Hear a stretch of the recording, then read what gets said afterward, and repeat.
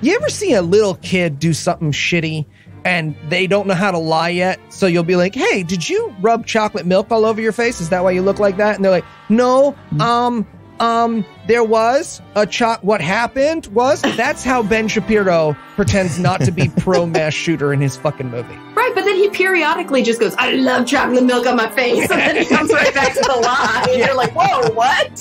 exactly.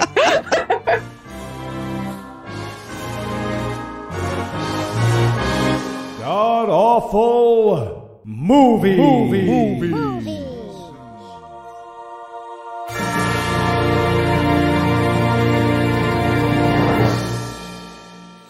Welcome back to God Awful Movies, where each week we watch another terrible movie so you don't have to. I'm your host, Heath Enwright, and sitting in a jumperoo bouncy thing that he definitely retrofitted for an adult is my good friend Eli Bosnick. Eli, how's it going? I'm fantastic, Keith. Uh, I hate this movie. I hate everyone who made it, and I would like to start yelling about it. That's fair. Just bounce around a little bit. Relax. You're okay, buddy. I really want one of those. I need ukulele accompaniment. I really want that jumperoo thing. It's a good idea. And sitting in Southern California with her dog that she did not abandon like Ted Cruz did is veteran guest masochist Cara Santa Maria. Cara, welcome back. Uh, thanks. Oh my gosh. I'm loving the Ted Cruz news. He's so stupid. It's so bad. It's so, Oh. especially because all my family is like freezing their nuts off in Texas right now and literally Oh, having to build fires and, you know, just banana stuff because they don't have power. What a dick. Trying to be contrite about it now. It's so, he's so bad at everything. I know. All right, let's just get right into the movie. Cara, what are we going to be breaking down today? Ooh, so this movie is called Run, Hide, Fight. And Yeah, it is. The movie plays out in that order. Yes, it does. and it's bad. It's really bad. Oh, God. And uh, Eli, maybe you could elaborate. How bad was this movie? Well, if you loved Die Hard, but you're mad that nobody adapted it into a workplace safety video, you will love this movie.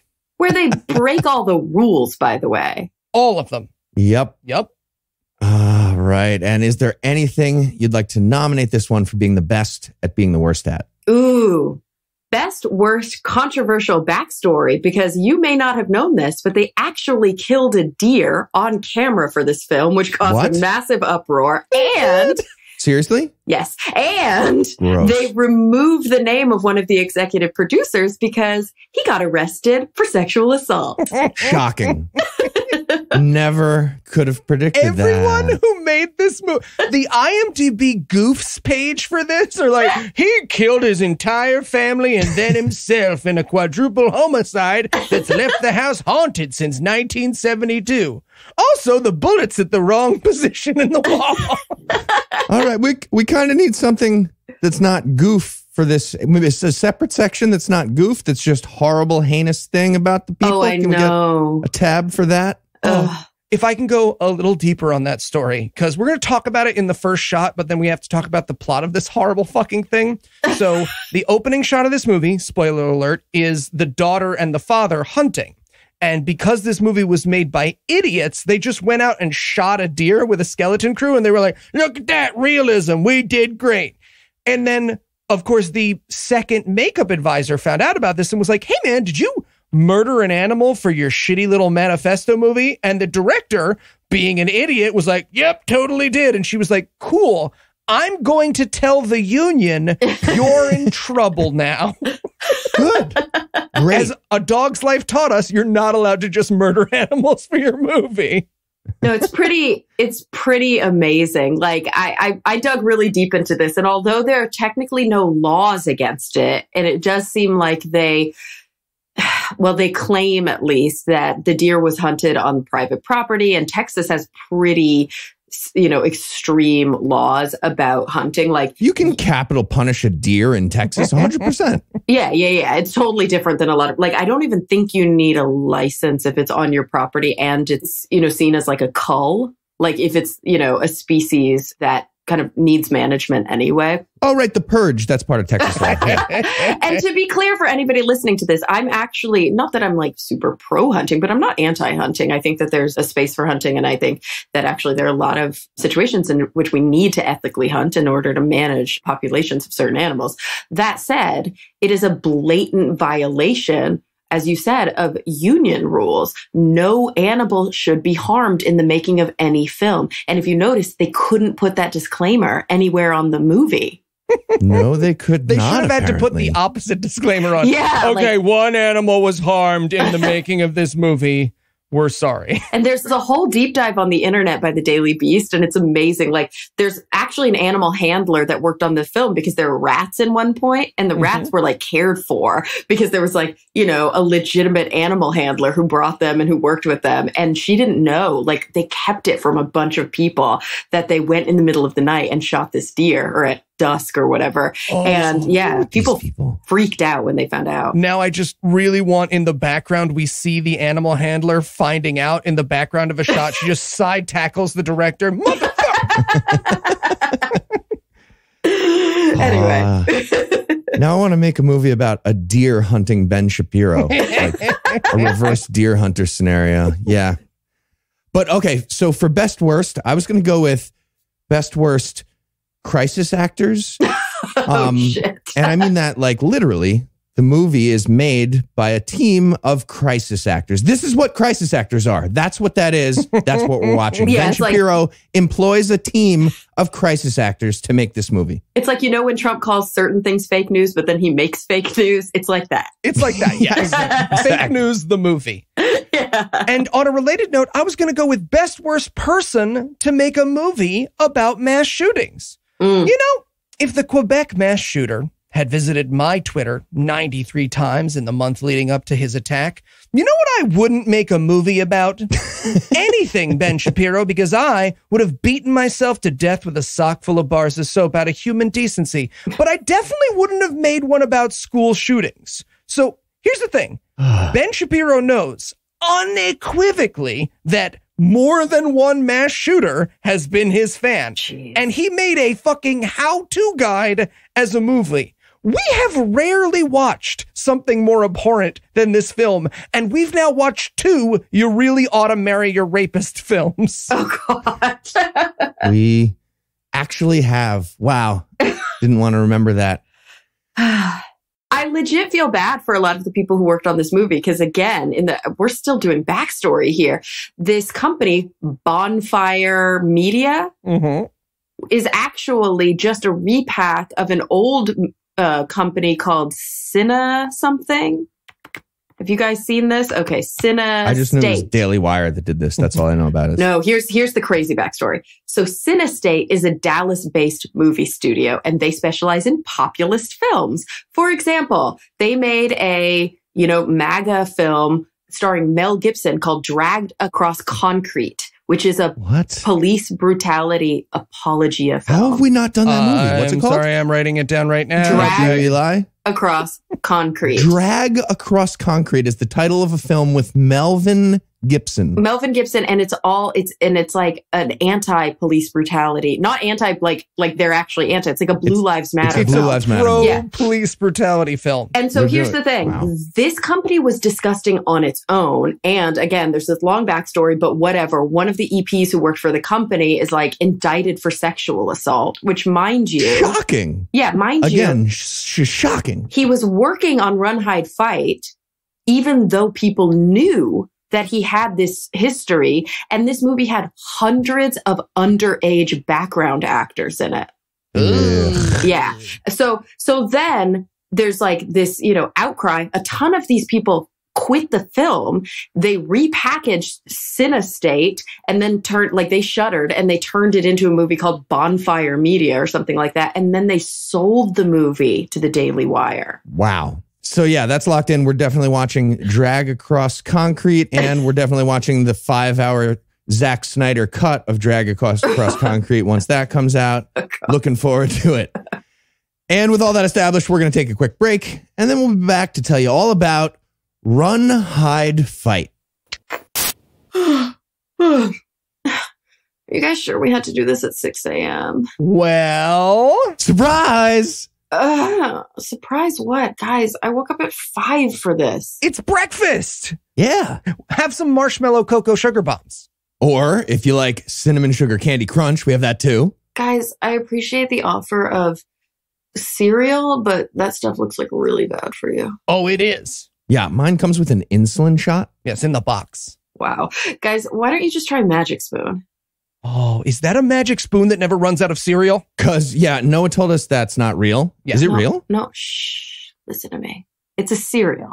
Magic Spoon has the amazing flavors you love, but without all the bad stuff. No way. Huh.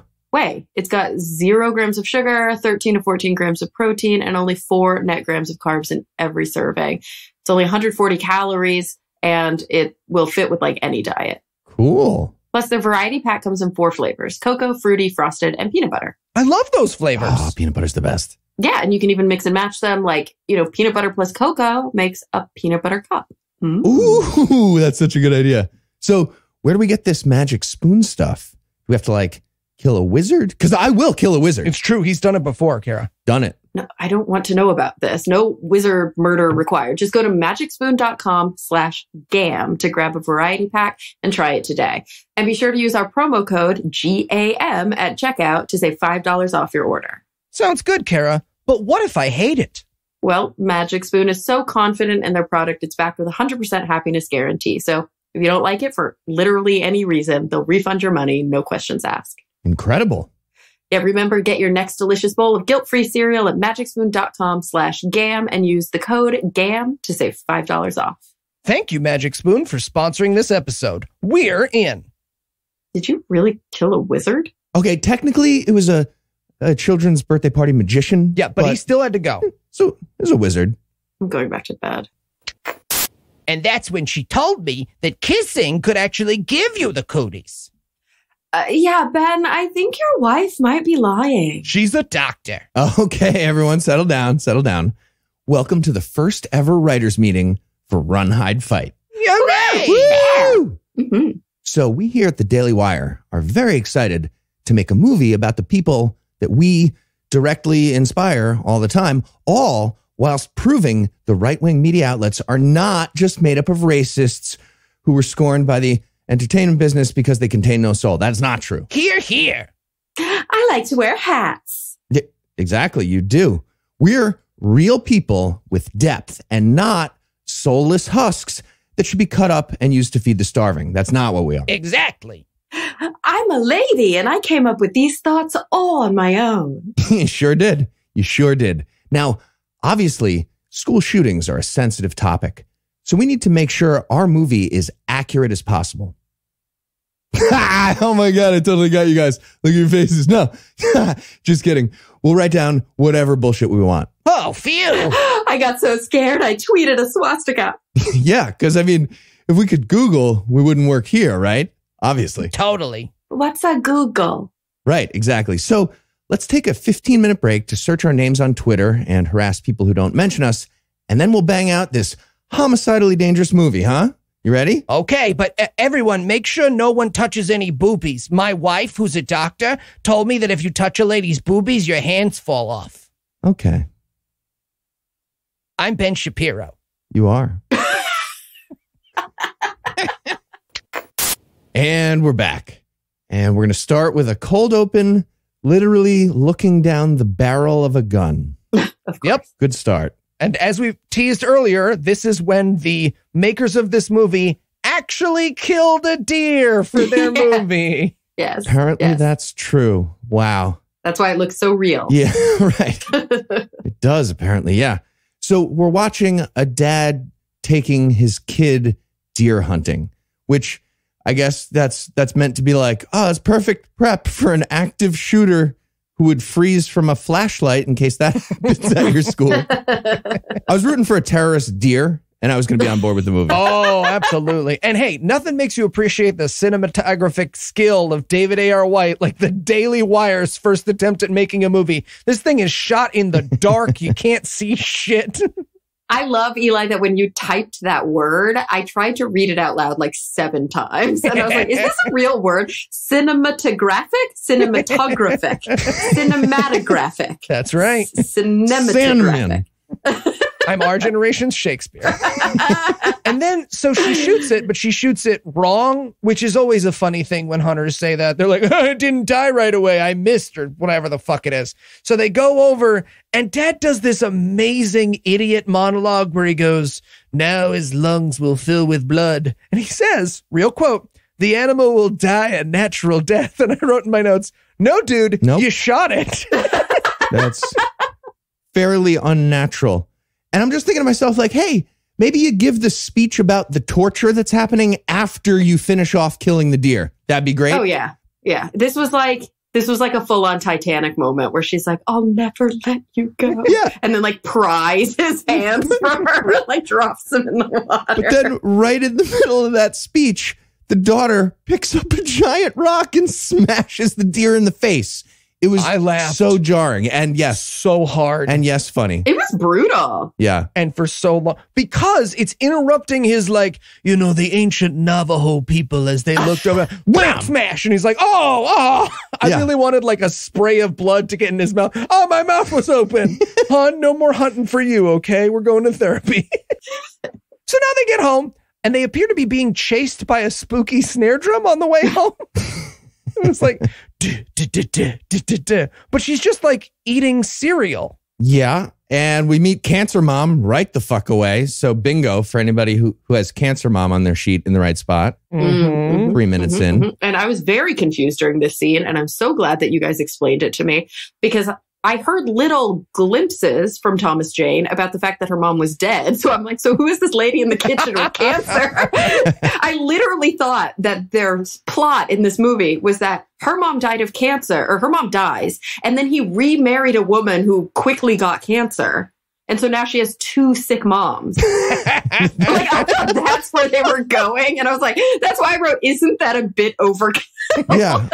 Dad, I think your dick might be radioactive. to be clear, Cancer Mom is ghost of already dead Cancer Mom. But it would have been fun and over the top if she was literally like alive Cancer Mom and ghost Cancer Mom both interacting with each other in the scene. Mhm. And I have to say, Cancer Mom, Cancer Ghost Mom here almost won my award for most useless ghost in any of the movies we've watched. She will do anything from like, you probably shouldn't get shot to, so what do you think of this skirt throughout the film? But she will be absolutely no help at all. Yep. She'll keep changing outfits. Her entire purpose, I think, is to narrate slowly the title of the movie and space it out throughout run, hide, and fight in acts one, two, and three. I think that's her entire purpose. Also, by the way, I must point out that in literally every scene, she's holding a cup of tea Yeah. and Yep. it must be cold. It's so Mm. There's no way it's still warm. Yeah. She's supposed to be in heaven and she's got like tepid tea. It's a, a lot of things don't make sense about it. Yeah, and like if this is like the Christian heaven I so often hear about, why is she still without her hair? Why does she still look ill? Yeah. Like it's it's not the heaven that's been described. Oh, we're going to get to that later in the movie, Oh, Cara, but okay. pin in that because the answer is upsetting and stupid. okay, Is there an I'm answer excited. to why she has symptoms of cancer in heaven? yes. Eli is so good at looking at the weird undercurrent, and you always catch the stuff I miss. I'm a shit movie whisperer. That's my key. That's my skill set. So yeah, Thomas Jane and her, they grumble at each other for a little while. I, I should point out that the lead actress, first of all, her character's name is Zoe. I found that out about three quarters of the way through the fucking movie. Yeah, that's why she's just called heroin, and I love that you, neither of you can spell, so you called her heroin like the drug. The whole script. Okay, I can spell and I spelled that correctly. Don't know. I liked this episode of God Awful Movies, but it was weird that Heath spent 45 minutes in the middle tearfully correcting all of his spelling on air. I, I don't know. It's a fun podcast, but they've gotten weird. So yeah, they, they grumble at each other. And I want to point out that Zoe, right? Zoe is doing somewhere between like I Spit on Your Grave remake and Christian Bale Batman, Yeah. but she can't really decide given scene to scene in the movie. So in this scene, her dad's like, You need to go back to therapy. And she's like, I don't want to go back to therapy. I see my dead cancer mom. And he's like, All right, your friend is here to pick you up for school. So she she goes to school.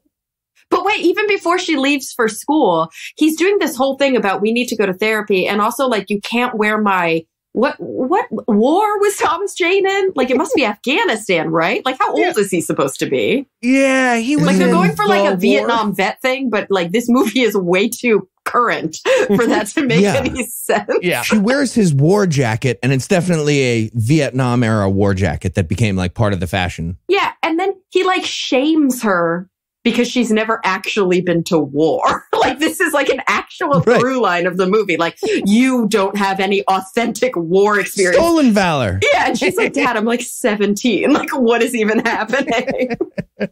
Yeah, but her friend picks her up, and now it's time for some teen banter, as written by people who work for Ben Shapiro. and this is the first of many instances in the film where they're like, hey, check it out. We're not conservative and backward. We're hip to the woke liberals. There's a black kid in the movie and he's cool. Yeah. and they talk about prom. And isn't it stupid that kids are always asking each other to prom? And Right. black love interest might as well be like, "Will you go to pr with me?" As she says, "Isn't it stupid that people ask each other to prom?" Wait, don't they say that one of the senior pranks is that like somebody ordered Thai food? Yeah. It's like, how is that a What? prank? That's like lunch. Was that like a racial comment? Yeah, unclear, Oh, I unclear. Yeah, I do like this is the beginning of the fact that this film is all exposition and no character development. exactly. Yes. It's it's just verbal diarrhea to explain, you know, I I am a multidimensional character. Let me tell you why. Oh, because my mother recently died of cancer, and also I am troubled youth, and also I am the kind of child who does not want to engage with the popular kids, and also there's a multiracial love interest that's happening right now, which makes us woke. And speaking of exposition, look at this other weird loner character in a field right next to us right now. He seems to be doing weird stuff because he's misunderstood. oh yeah, and he drives a pedo van, Yeah. which apparently they borrowed from the co-executive producer. yeah, that that made me uncomfortable. My dad literally had this same van for his oh no. moving. He, he he was a sculptor. He had to move sculptures. He had to get a big van. He was, but it's the same van. Did it have like green shag carpet? Because in every episode of Forensic Files, that's how they find No, the guy because they're no, like green shag it- it fibers was- on the dead body. It was a brown shag carpet. Sarah. It's different. They'll never convict him now. So now it's time for typical American high school. And the only reason I include this scene, nothing happens, but we see some seniors like putting underwear up on a flagpole. And I just wanted to say that you'll never convince me that someone didn't hang Ben Shapiro from a flagpole by his underwear for their senior prank. I know that in my heart to be true. That happens like at the Daily Wire prank day. Like that that happened last week to him. No. His wife did that to him like yesterday morning. That was Ben? like their morning ritual. you gotta let me. I'm a doctor. So now she's gonna go to class and we're gonna meet her wacky best friend. Yeah, and she's you know a singer, and look, you did so well in your recording, and and now there's like a po- like a prom thing with people in Shakespeare costumes because that's a thing that happens. not at my school. And then oh, by the way, this is the first part where this question starts kind of getting confusing in my head. It we'll come back to it later, but like, why is this school so big when it's in the middle of nowhere? This is a great Yeah. question. It's a weirdly well funded school. Yeah, it's a weirdly well funded school and it's enormous, which we will realize plays out in many ways later. But for some reason, there are like four cops in the whole city. Um, moving on past that. this this movie cannot decide if it's like Huxon Junction, Tennessee, or Austin, Texas, given from scene to scene. Yes, Yeah, you're or a right. sprawling mansion in Essex County, England that has this giant school. Yeah. Yeah, there's like this like mahogany furniture in the classroom. Yeah. And all the teachers are like young and hot and like edgy. Yeah. Mhm. Okay, there did I did I see this wrong? Was there a couch in the Spanish room? There like a was really couch in the comfortable room. couch in the middle of the Spanish room?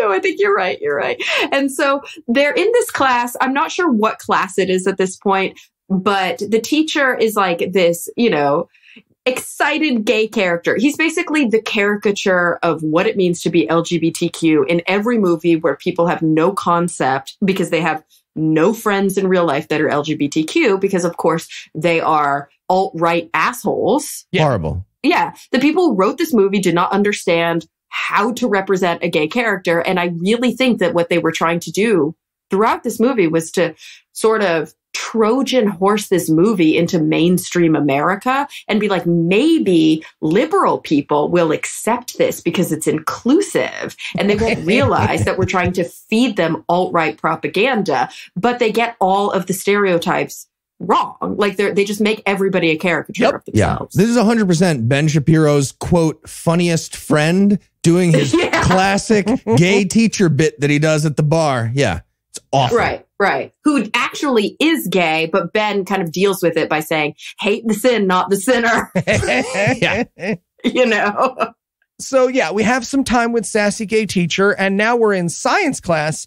And I just want to say I approve of the fact that movie science class is 99% explosions. Okay. Real science class doesn't have anywhere near as many explosions. Kara, I need you to get 50% more explosions in science classes by Monday. Get on it. Oh, I love explosions. I'm totally down for this. There you go. See? This is our new initiative, Eli. Okay, but expl- like big explosions in a class? Like, Yeah. can't we just explain that hydrogen explodes? Like, I don't need a demo and a visual aid for that. I understand that entirely. what what is wrong with you? Yeah. Of course you need the demo and the visual aid. These people are teaching public school. This is the highlight of this woman's year. so, like, sir. I'm going to be walking around with my giant bag of hydrogen and forget because I didn't get a visual aid that that explodes and then I'm going to hurt myself. No, it could happen. But no. yeah. after class, the the teacher pulls Zoe aside and she's like, Zoe, um, we're so bad at writing that we need to exposit some more. You used to be a good student, then your mom died. Now you're a bad student. And Zoe's like, Yeah, well, I can't wait to get out of this town. And the teacher's like, I'm sorry, did you actually say the line, I can't wait to get out of this town? Was that a placeholder that no one replaced? And she's like, Exit, stage left, Batman voice. Lorem ipsum, lorem ipsum. So now we cut to her locker where Zoe has gotten a proposal from uh, love interest. We also get a scene where something in a field explodes. Oh, right. I'm going to explain this now because the movie fails to explain it. So, one thing that I should point out about this movie is that it it is very much less an action movie than it is like an instruction manual for school shooters. And hey, Ben Shapiro made the movie, so I fucking get it. What this is supposed to be, we'll see a bunch of stuff exploding randomly and never have it explained, is the school shooter, in order to throw off the cops, set off explosions in abandoned fields around town Mhm. so that when the cops did try to get to the school, they would get slowed down by the explosions that the firemen were at. Yeah. Yeah. And we'll dig deeper into the calculus of this, I think, when we get to that point in the movie, because it's it's a little hard to get past. But you're right. There are these bucket bombs that they built and put around town. What I think they were going for, and any have have any of you guys seen the the Showtime documentary series Active Shooter? No. I've not. It's very good. It's hard to watch, but it's very good. It's basically, I don't want to call it the palate cleanser after watching this movie because it's like the palate fire. Like it's the opposite of a palate cleanser, but what it will do is like remind you of the, not the sanctity, but like the respect that is actually required of these kinds of horrific incidents. And what they do really well in Active Shooter is they really describe the victims, they really describe the circumstances, and they also talk about how important it is not to elevate the perpetrators. Okay. That we've done a real disservice in the news by saying their names, Yeah. by giving them any sort of infamy. And they do a real deep dive on Columbine and bust a lot of myths around Columbine. You know, there's so many crazy myths that came out after, and it's just really hard to undo the news stories that were blatantly incorrect during the unfolding of Columbine. Right. And I think what they were going for with this film is something along the lines of like, what if the Columbine perpetrators had actually not been so inept? Yeah. Because they actually had a lot of these plans in place, but nothing worked. And that's why so, I shouldn't say so few, because a lot of people still died, but Columbine could have been so much worse if they hadn't been so inept. Yeah. Well, if a show called Active Shooter can be the lemon sorbet to your movie Yeah. as a cleanse, Yeah. that's a bad sign. yeah, very and bad. by the way, this movie will reinforce all the untrue beliefs about active shooters. yeah, exactly. This might as well be called "Meh, Wrong Again, the movie. So, yeah, uh, an English teacher reads an apropos quote about the movie. I love this movie trope. It's in every movie, not Yeah. just Christian ones. But when we make God Awful Movies the movie, the English teacher is absolutely going to be reading something about what it's like to be in a Christian movie. oh, Also, I just want to point out that this is a Proust quote that comes right before the like, man, I wish I could put her penis in my mouth. I'm just saying, Ben, I know you took it out of context, but this is this is right before a big section on how much how delicious balls must taste. Oh Jesus, it's so true. Also, can I? There was like a thing for me where I was really confused because on their way to school, they watched, you know, loner kid plant a bomb. We know that now. It was a mm-hmm. bucket bomb. Yeah. And then they like keep driving a long way to school. They're out in the middle of nowhere in a field. But then she's sitting in class and sees the smoke coming from the bucket bomb. And it's like just around the corner. Yeah, they forgot. And I'm really confused about the geography. And also, the bucket bomb was very small, but the smoke was as if a tire factory was on fire. Right. yeah, And she just saw that and was like, that's nothing. And she ignores the giant cloud of black smoke and doesn't tell anybody something might be wrong. She does. And speaking of bombs, now we cut to one of the other mass shooters, who I very tastefully in my notes have called bitch tits, planting a bomb by loudly yelling, I'm not planting a bomb in the office. Love Yeah. this. He's like, so this guy literally wants everybody to remember him. I think he's like, nothing to see here. Very cool. Very cool. That was the line. Hello, I'm normal student. Student. I'm just student, but you know, remember me. I'm holding two things now. One. Don't worry about it. Bye. it's a big deal that he leaves a bag in the office there. That's like Yeah, yeah. the bomb or one of the bombs Why is the administrative assistant for the school? at the at the the front desk of the office. Yeah, the front desk Yeah. lady. Why is she so mean? well, to be fair, he does enter the room being like, hello today, bomb, not bomb, goodbye today. Sorry, did you say bomb, not bomb? Is that what you said? Mm. I love you. Is it so? Uh, are we landed on it's not bomb, and then I can ignore this? Yes, Okay. please do. And and please ignore it for the entire rest of the movie. Even Yes. once you're well aware that there's an active shooter situation, don't worry about that dusty backpack that's in plain Okay. view. I guess. I mean, if I see something, I should not say something. That's what you're telling Yeah, me, student. that is this character's policy. Okay. Yeah. Clearly. Inconspicuous. Go go on about your day. So we cut back to Zoe, and she's being awkward around love interest because she doesn't want to go to prom because her mom is dead. And the only reason I point this out is one, it's the reason she goes to the bathroom and therefore doesn't get shot in the initial mass shooting, which Yeah. is coming right up, everybody. But also, there's this great moment where he's like, Yeah, you know, I just don't want you to shut down. And she goes, You think I'm shut down? And I wanted him so badly to be like, "N- No, you're just a bad actor. You're not a good actor. so you seem shut down, portraying emotion. She's like, "What do you want me to do? I'm working with a really shitty script. I'm doing the best I can." She carries the movie. She had like the hardest role for sure because she goes from troubled youth to like Ash with his boomstick. throughout this film. Like there's a real arc to her character. Yeah, and you know she had to deal with fucking Ben Shapiro on the set or whoever his asshole producers are doing that like coachy gross thing with her as this younger woman and them as this creepy older man like standing behind her and like teaching her how to play pool for no reason. It's not in the movie. yes. I'm also just imagining this deer carcass being wheeled into every scene for no reason. They're trying Just to pass it off as crafty. staring at her. Got venison. So she goes to the bathroom, and some girl hides something in the ceiling and then goths her way out of the bathroom because, yes, one of the school shooters, because they need to hit all the untrue stereotypes, is a goth kid. Oh yeah. Yeah. Also, one of the school shooters is a girl, which is like never happened in the history of shootings. Oh, Like, okay, Yeah. I think I found I found a stat somewhere. Wait, have we ever had a school shooter who's not a, you know, cishet white guy? I don't know about a school shooting, but I did start to dig deep on this. And there's, okay, in the period between 1966 and 2012, of the 292 mass shootings, so that includes any shooting with four victims or more who died, only one perpetrator was female.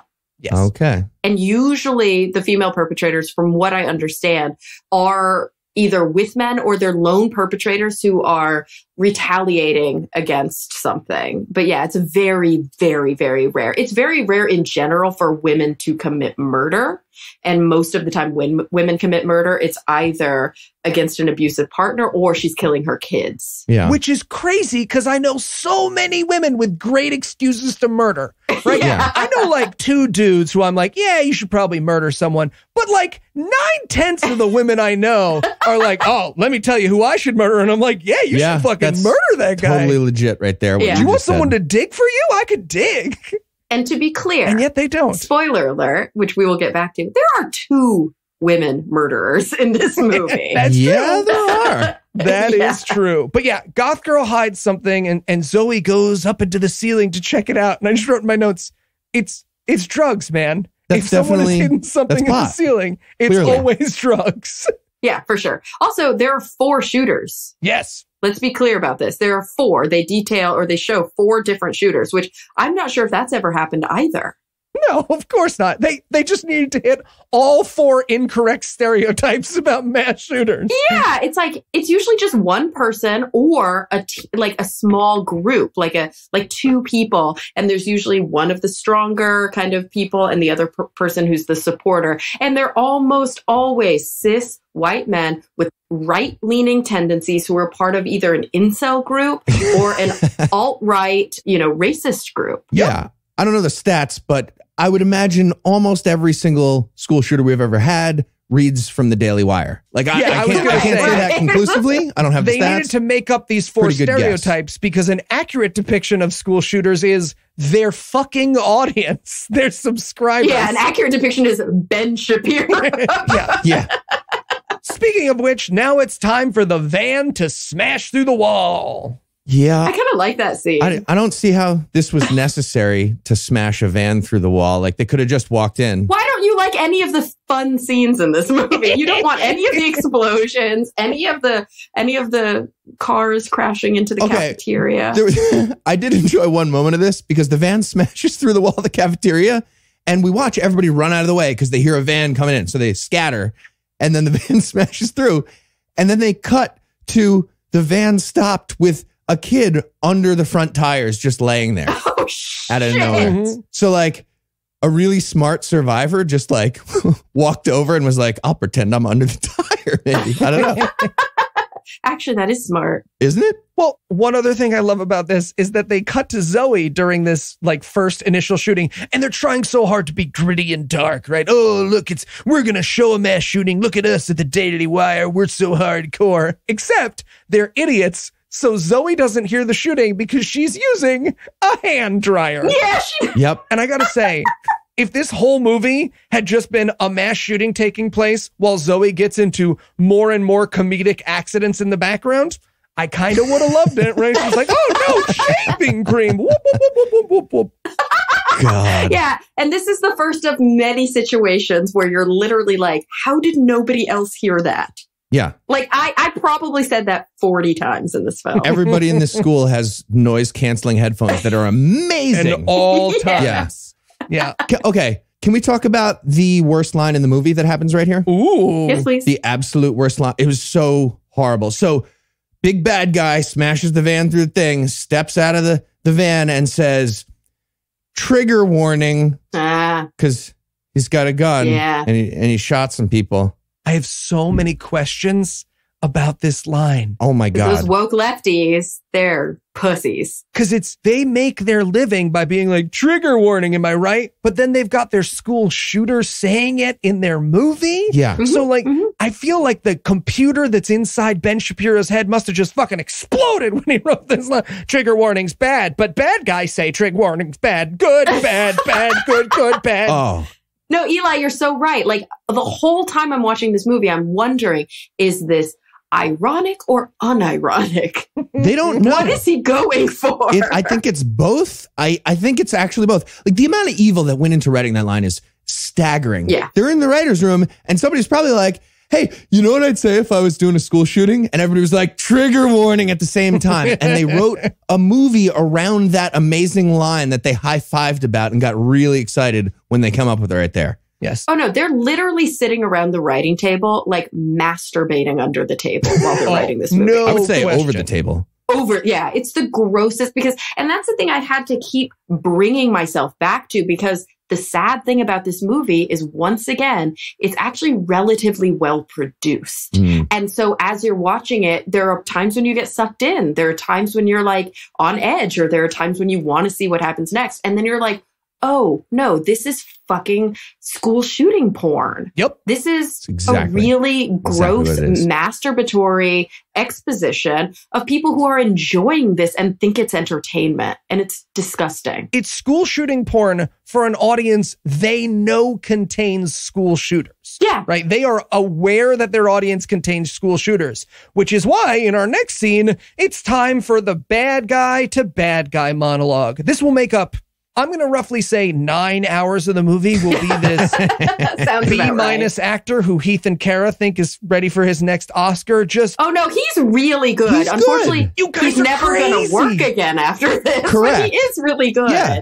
This is Tristan. You're talking about Tristan, the main Tristan, bad guy, yeah, right? the main bad guy. He's so mediocre. What? No, he's he's good. He's he he he hits the nail on the head of that stereotype, that caricature, to be clear, of the kind of charming, debonair, semi-attractive, yet narcissistic and absolutely psychopathic yeah. school shooter. And in a way, it's like they did their homework because the truth of the matter is what we usually want to think and what the media usually plays into is that most school shooters are these like troubled, bullied kids. And they, they go, they go there. That's also the subplot of all the other school shooters. But the ringleader, Tristan, is, is basically just a narcissist and he wants power. And that's Yeah. kind of what happened in Columbine. And he nails what the director was clearly telling him. What Ben Shapiro or whoever the director is wanted him to do was be that character. hmm It's a horrible character. It's Oh yeah. evil. But he does it well. He acts it well as he was directed to, I would say. Agree. Yeah. I hated it so much. Also, come on, you got to admit this first moment is hilarious, just objectively hilarious. So he's like, "All right, I'm going to give him a big speech," and he sees a bully named Roy, like a football jock guy who had bullied him, and he's like, "Hey, Roy." You're your bully. You always bullied me. Seems like the power dynamic has finally, and then blam, he gets, Roy gets shot in the face by one of the henchmen Oh yeah. Mm-hmm. The muscle. the Crazy muscle, henchman. Chris. And Yeah. Tristan is so fucking mad. He's like, Chris, what the fuck you do? I was doing my power dynamic speech and you ruined it. That's true. Yeah. That's true. Chris is just like, sorry, I'm an idiot who has his machine gun. Yeah. Sorry, my my mental illness will be the focus of my character, so I just I randomly know. fire my gun. It's so bad. So they did, right? Like that was clear to everybody that they were playing this kid up as the like, it's not a gun problem, it's a mental health problem. Yeah. Like he's that talking point. Oh, he may as well set the gun down and be like, "See, the gun's not killing anybody. It's me." Uh, sorry, Ben Shapiro made me do this.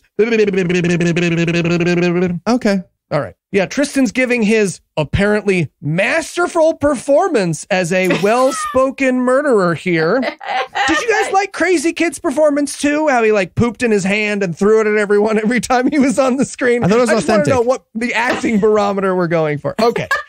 Point is, Listen, it's better than Gramps. I don't know. My scale's fucked up. it's okay. We can re-heal you. We can heal you. I don't think you can. we can. can teach you what movies are again. I like that you can re-heal him as if this has happened before. It has, though. Yeah. So Zoe's climbing through the ceiling because they had to make an action movie and they just stole all the beats from Die Hard. yeah, for sure they did. So at this So point, much. there's a van that broke through in a wall, and I'm talking like a glass and brick wall of a school cafeteria.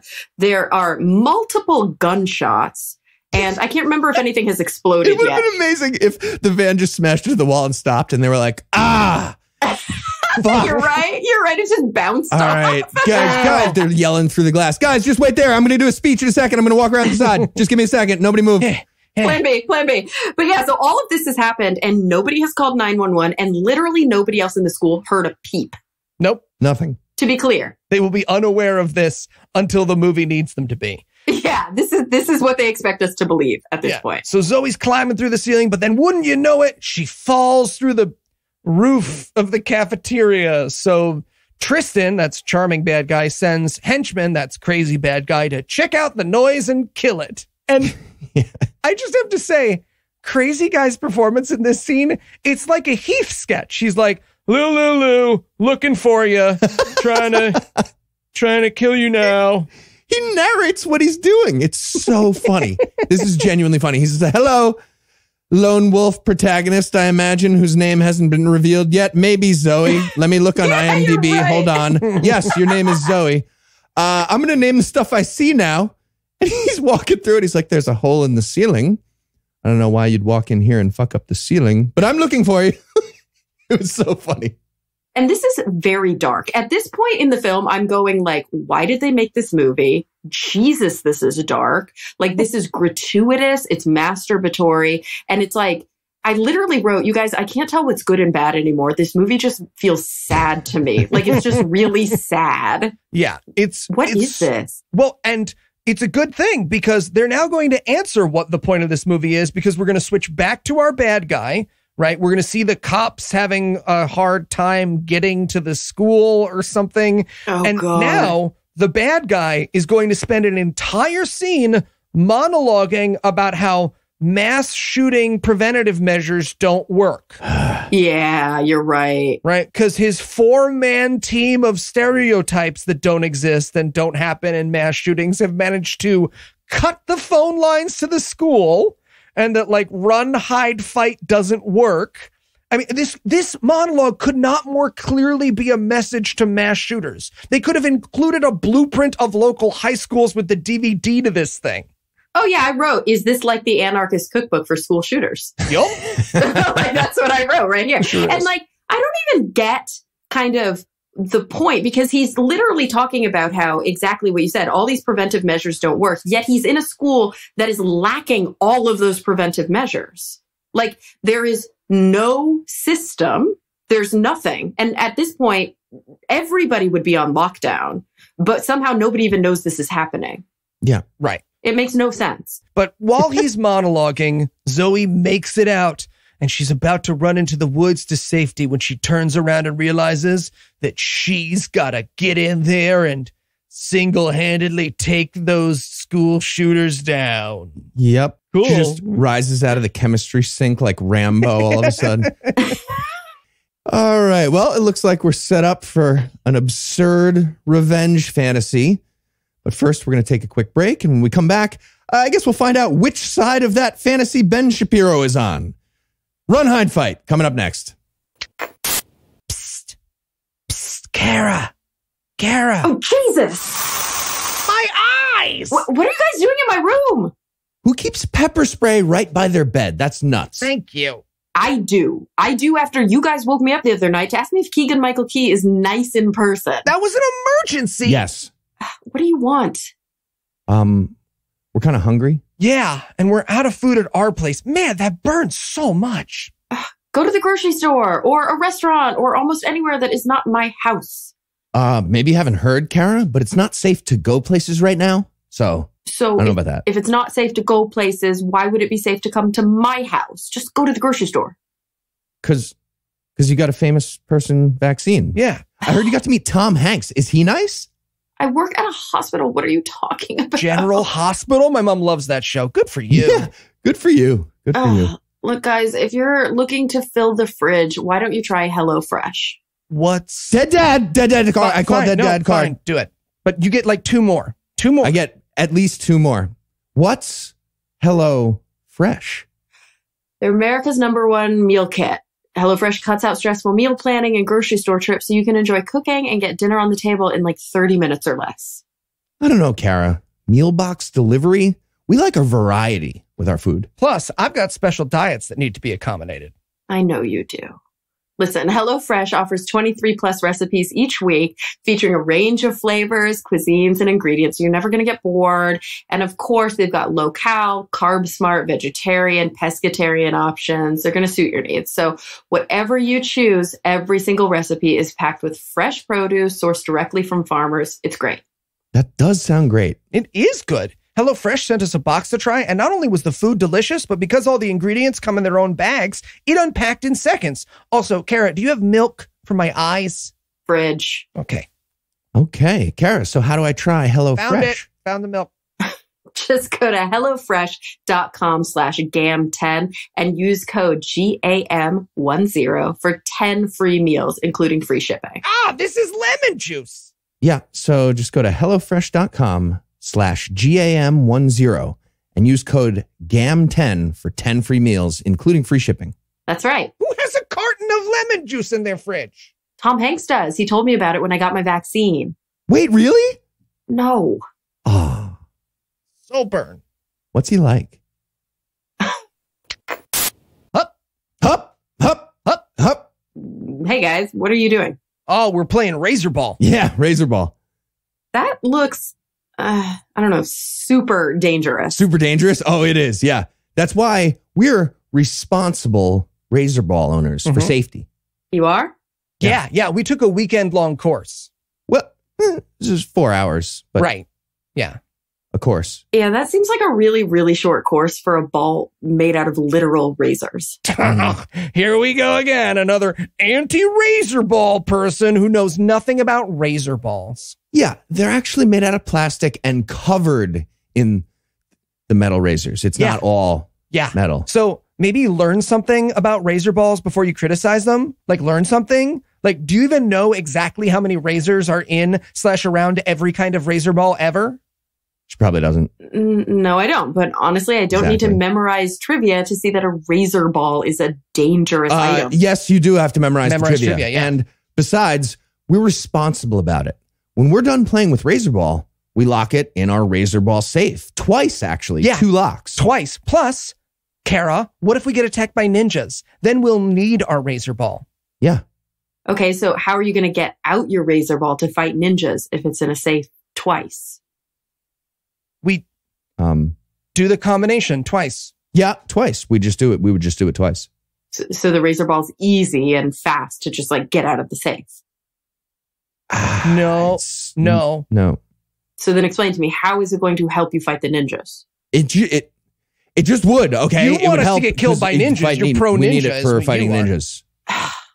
Look, guys, I know you like your hobby and deep down you think you're going to use it to fight ninjas, but you're not. You're not going to use it to fight ninjas. You're just going to hurt yourself and probably other people too. And if you actually care about the health and well being of others more than your own weird hobby, I think you should just give up the razor ball. Mm, still no. Yeah, no. No. Besides, if Heath gave up the razor ball, all he'd have left is incest porn. Nah, you would. That that's not. No. Yeah. Oh my God, Eli, are you okay? Uh, completely unexpected. Nothing to be done. No idea why this happened. Okay. We're gonna get emails because of this sketch. Yeah, but not from people who are right. No, not from people who are right. You guys are idiots. Yes, we are. And we're back. And now that Tristan and Chris finally finished up their whispery sidebar fight, it's time for more of the big evil speech, which is mostly Fox News talking points snuck into a speech from the mouth of a terrorist, to be clear. And I guess I guess that tracks. That's Yep. kind of their thing. Yeah. How are they okay with this? Like, how is how is the irony? They're just like, yes, this is. Awful. ah, it just hurts my brain to think about the fact that they're completely blissfully unaware. It's really not clear which side of the fantasy they're on at any given moment. I Oh, really I- can't it's tell. Plenty fucking clear to me. Yeah, no, it's clear, but it's not made clear to the audience. It's like You ever see a little kid do something shitty and they don't know how to lie yet? So you'll be like, "Hey, did you rub chocolate milk all over your face? Is that why you look like that?" And they're like, "No, um, um, there was a cho- what happened was that's how Ben Shapiro pretends not to be pro mass shooter in his fucking movie. Right, but then he periodically just goes, I love chocolate milk on my face. And then he comes right back to the lie. And you're like, whoa, what? exactly. so this is where he's going to talk about how silly it is to have an unarmed security guard. Oh, that's the point of that. God, this is so Eli. I'm so glad you're here. I'm always confused. Yeah, the unarmed security guard ends up being ineffective and then pisses himself.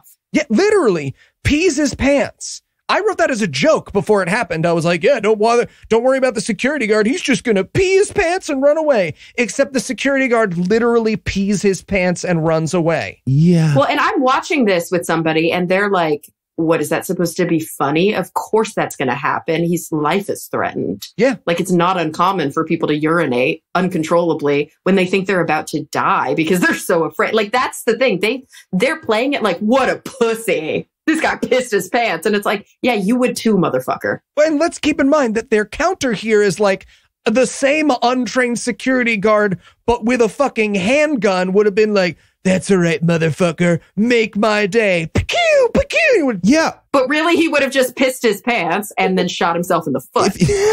you know, like that's what would have happened. Well, if he's armed and he's somebody who carries a gun and wants to use it, like I would imagine some security guards are, they'd be having a gunfight in a room full of kids right now. That's what would be happening. Yeah, only bad things would have come from that, as we all know. Ben Shapiro wants you to go, oh, if only there were a gunfight going on in this room full of children. Yeah. And it's not like we don't have evidence, like actual scientific evidence, where there have been school shootings simulated where some people had guns and some people didn't. Like they used paintball guns or beanbag guns. I don't remember. And what always happens? More people die. The more people that are armed, Huh. the more people die. Yes. Huh. In my favorite thing about this particular study, they did one where they armed the teachers and teachers shot students 100% of the time. Yeah, of course they did. They're just like, okay, here's your beanbag gun. Pet. Okay, I handed that to you eight seconds ago, Mrs. Because who did, think about your high school teacher? Can you think of a person, any of them? Can you think of any of a person in the world you would like less to have a gun than any of your high school fucking teachers? oh. And speaking of high school teachers, now we're going to cut back to another classroom where a teacher is teaching about the Alamo. You know, that time when uh, having a bunch of guns would have come in handy. Yeah. Oh. She's like, yeah, so we lost the Alamo, as everybody knows, because, you know, those American Texans couldn't get AR 15s with bump stocks at Walmart. So that was problematic. and this is, I'm going to say, the, the rock smash was pretty funny, but this is the hardest I laughed in the movie. The girls, right? Zoe and Sassy Best Friend, they run up and they bang on the window and they're like, there's a school shooter, there's a school shooter. And their teacher's like, oh, very funny, girls, and closes the window shade. And the hero of the movie gives up. Yeah. Yeah, yeah. He's like, oh, well, she closed the shade. and it's like it's so crazy because they're like hamina hamina hamina hamina hamina. I can't clearly express myself. Oh my god, hamina hamina. When all they had to do was go active shooter situation. Like very clearly, everybody would have frozen, but instead they're like hamina hamina. This is fun. I really want more action movies to do this, right? Like, get to the chopper. What? Never mind. Just like action heroes who instantly give up on people when they don't listen to them. So yeah, and we should point out that Tristan is making all of the students live stream him while he bad guy monologues. Right, which to me is not a bad plot point. Right. That's what would happen, I It think. It makes yeah. sense. It's it's something that probably would happen. What I don't understand is why our love interest keeps his hand up.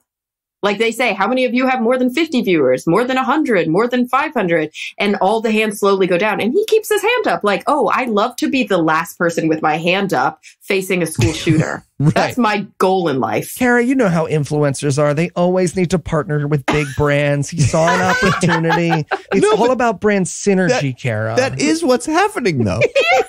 because this character is he's supposed to be the good guy, Lewis. And he's like, oh, he yeah, has a name too. yeah. Oh, he, he I I actually looked him up on IMDb right Okay, now in- okay, while I was watching. This is how I found out his name was Lewis.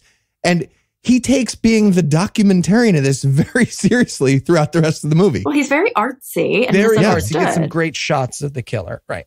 So Getting the scoop. now Zoe figures out to pull the fire alarm. By the way, we're like 30 minutes into the movie before Zoe's like, right, fire alarm, that alarm for everyone leaving the building. Right. Wait, but two very important things happen before she pulls Ooh. the fire alarm. hmm One, they make a build a wall reference. Yes, they do. God, so stupid.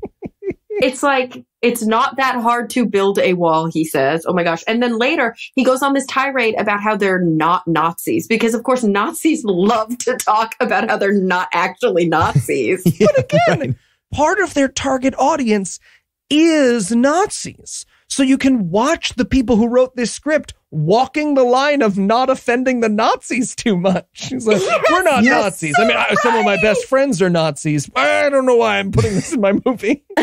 like in Ben Shapiro's mind, he's like, see, it works on like two levels, like a Disney movie where like the parents think it's really funny, but also the kids don't quite get the edgy humor.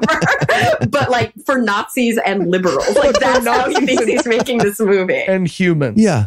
Also, when we get the build a wall line, again, it's obviously supposed to be a line about the Trump wall, but we watch them then make a wall uh, along the cafeteria window of cafeteria tables on wheels with slats. So it's like literally a completely ineffective wall that we watch people look through later. The cops Well, yeah. see through it. Isn't that exactly like Trump's wall? Yeah. like you can see right through it. Yeah. It's it's not that hard to build an ineffectual wall was the original line in the script. yeah. So yeah, she pulls the fire alarm, but wouldn't you know it, Goth Girl is going to disable the fire alarm with a wrench. Because I don't know if you know this, there's a big box in the center of every building with a fire alarm, and if you smack it hard enough with an object, all of the alarms in the building turn off. Yeah. And also, wouldn't a wouldn't a school that rich be fitted with like sprinklers? Oh, You'd think for sure. maybe a backup system, maybe not a button that says, don't press this, please. Yeah. Override alarm in case of school shooting. oh, and like, lo- wouldn't a school with that much money have the automatic lockdown things? I've seen this in a lot of schools where all the doors close and lock from the inside. Yes. Yes, but if they actually addressed any of the things that they used to stop school shootings, the rest of this movie would just be Tristan being like, oh, because they locked us out. Fuck. Fuck. Guess I'm going to prison now. Open it, please? No. Ah. My favorite part here is that Goth Girl is disabling the alarm in like some sort of janitorial closet, and then a janitor pops up out of nowhere, and I'm pretty sure it's Jon Voight. Like, I couldn't find his credit in IMDb, but I want you guys to rewatch this oh, and tell me that's not Jon oh, Voight. that would, Yeah. he's a piece of shit Republican. So I it know. wouldn't surprise me if he was I think he made a on for a weird movie with Ben cameo, Shapiro. but they put him in like a fat suit, so you can't quite tell. But it is, it is, it's so Jon, Jon Boyd Voight. could just be fat right now. We don't know. Oh, that too. Yeah, could be. His daughter won't talk to him. Why would she? Jesus. So we cut over to the sheriff. He's held up by fire engines existing. So at this point, I'm trying to explain to myself why there are all these cars parked on the street. And I'm looking back to the evidence that you see in active shooter situations where there's usually a perimeter around the school. And then all the parents who are really scared are starting to drive to the school. So they have to keep them behind the perimeter. And in my mind, I'm like, oh, yeah, that's what we're seeing. And then I quickly realized, no, there are literally 50 cars clogging the road, but not really because you could clearly drive right between them you absolutely can. because there was a, a shed fire because the the Yeah. active shooter put a bucket bomb in a tiny shed and it exploded right next to the road could have put it out in 10 minutes Yeah. And the entire FBI of the entire region of the country is there minutes later. it's the dumbest thing this is the wor- I, this is the part i couldn't get past that this was his hey look over there at that shiny thing moment Yep. It's so painful. And I just don't get like the sheriff's driving really slow. He's on the phone and she keeps stopping. I guess to like eavesdrop. So it's like it's a woman driving the car, and then the main sheriff is sitting in the passenger seat on the phone arguing with somebody, and she keeps stopping. Like, how about you just drive there anyway, and we'll work this out. You don't need to like wait. Active shooter, not active shooter. Pizza, Yeah, know. donuts. Could be Pizza. hostages, maybe not hostages. Let's sit here and figure that out until we drive to the school. We just watch her make a bunch of K turns. Okay, it's back to the fire. Now we're back to the fire with the shed. Where there are no victims. Right. oh my god. But yeah, they do eventually get there. One of the bombs has gone off. And the only reason I mention that is that as they pull up, another cop is just casually walking around in a circle, literally on fire. Yes, this does happen. He does not stop, drop, and roll. Just like they don't run, hide, fight in this film. Maybe he was trying to run, hide, fight the fire. And that was the problem. He He got confused. Wait, is it stop, drop, and fight? Fuck. I I stopped, don't dropped, I'm and on rolled fire. on top of those killers. That makes sense. Yeah. But yeah, Zoe got caught up in the bomb too. So sh- we cut over to her. She wakes up coughing from bombs, like you do when you're an action movie hero. Yeah. When everyone around you's dead, but somehow you keep surviving. So she takes the cops pepper spray and handcuffs. Uh, she has a little pep talk with dead mom for a second, where her mom's like, "Yeah, you know, this is um, this is pretty bad," and she's like, "Yeah, no, I know it is, mom. I know it is." And she's like, "Okay, well, um, you gonna go fight that goth girl in a second? She's like, "Yeah, in a couple of scenes, I'll go fight that goth girl." Okay. Wait, but before that even happens, mom is literally like, you know, dying's not that bad, but breastfeeding you, Yes. that was What? painful. That was confusing. It was really confusing. She's like, Mom, what? You're like the expert on dead people? like, what is happening? Who wrote this? Oh, yeah. She gets a little sassy with him. Meanwhile, back in the school cafeteria, active shooter is bringing up the problem of evil because Christian movie. Oh, yeah. And don't worry, Ben Shapiro's got a great answer. The reason why God lets school shootings happen is so that he can send people to hell. Yep. Oh, it's like Heaven's Gates, Hell's Flames. Free will is the answer here. Yeah. it's all coming the, back the, together. the terrorist is literally like, hey, so problem of evil. This is tricky for all you Christians, right? And one girl's like, no, free will. God lets you do this school shooting right now so he can judge you at some point. Oh, and she's like, again, unbelievably calm. Yeah. She's like, let's have a debate, school shooter. I know you're armed, but I'd love to maybe push back on that statement a little. Okay. Two minutes for rebuttal for you. At any point, I thought there was going to be a subtitle just like "Girl destroys school shooter with facts and logic." But the movie doesn't realize that the terrorist is making great points about this here. The terrorist is like, couldn't I just get judged and not kill all of you? No. Okay, moving on. I'm a terrorist who made a really good point about that just now. yeah, yeah. Yeah. Then there's a really gross, like, rapey scene with the Spanish teacher where he makes her take her top off. And again, it's, it's just school shooter fantasy. It was a nice reminder that I hate this movie and everyone associated with it. Like, there's no saving them. But don't worry, just as I was about to get bummed by that, Zoe's gonna fight Goth Girl in a room full of balloons. yeah, there are balloons on the floor. And she does this weird like leopard attack. Like, like where did she come? She came from the sky. yes. Did you guys notice that? there's there's so much again it's there's a really gross scene with the spanish teacher that i don't want to dwell on because there's no jokes to make about it No, it's just school shooter porn. And basically, probably what it did, to be honest, is like spark a bunch of 4chan channels where people are jerking off to this movie and plotting their own copycat versions. Right, That's the part that exactly. really scares me. it's gross and and just as i was like like i don't even want to do this movie goth girl is hunting her in a room full of balloons and goth girl literally tries to shoot each individual balloon. She's like pow! Okay not in that balloon. Pow! Not in that balloon. But then yeah zoe uh, jumps on her from the ceiling. They do gun struggles. And then zoe okay so again this is the idiots that made this movie. We've all seen the moment in a movie where it's struggle struggle gun goes off bad guy falls down dead. Yeah. But these people are idiots. So it's not just gun goes off. She like slowly points the gun at Goth Girl's head and then slowly puts the gun into Goth Girl's mouth and then pulls back the trigger and then loads the gun and then cleans the gun and then she shoots Goth Girl with it. well, and it's so weird too because I'm pretty sure you guys correct me if I'm wrong. Goth Girl's the one holding the gun. Yes. Zoe is doing that thing where she has her hands on the barrel Mhm. and turns. It's a handgun though, so the short barrel and like turns it towards Goth Girl. Somehow she gets Goth Girl to pull the trigger. Don't know how that happens. Second, wouldn't Zoe's hands like be blown up a little bit? Like, I don't know. I assume the people who wrote this movie are gun nuts. I am not a gun nut, but I'm pretty sure you can't hold your hand over the barrel of a gun while you shoot it. Yeah, you can't put your finger in the end of a gun and it goes backwards like Bugs fucking Bunny. I'm pretty sure you have a horrific en- injury from that. But okay, we'll just we'll just put that aside. Yeah, she kills Goth Girl, and hey, now that we've lost Goth Girl, I'd like to take a moment for a PSA to our audience. Hey, audience, if you've ever watched a movie about school shooters, you've seen a Goth Girl who's a part of it. In real life, Goth Girls don't do school shootings. They have bad bands and write even worse poetry. Thanks for not murdering people, Goth Girls. We believe in you. Aw, So Zoe is going through Goth Girl stuff now that she's killed her. And the only reason I point this out is this entire scene while Zoe's like gearing up and ready to do the thing is all the like they don't let cops do illegal stuff to stop school shootings. So it's it's literally just Sheriff Grumble standing out there being like, "What do you mean we need a warrant to go into his house? What do you mean I'm not allowed to just walk into the school and shoot people? what do you mean I'm not allowed the school shooter's phone number based on my whim and belief that he's the school shooter?" yeah.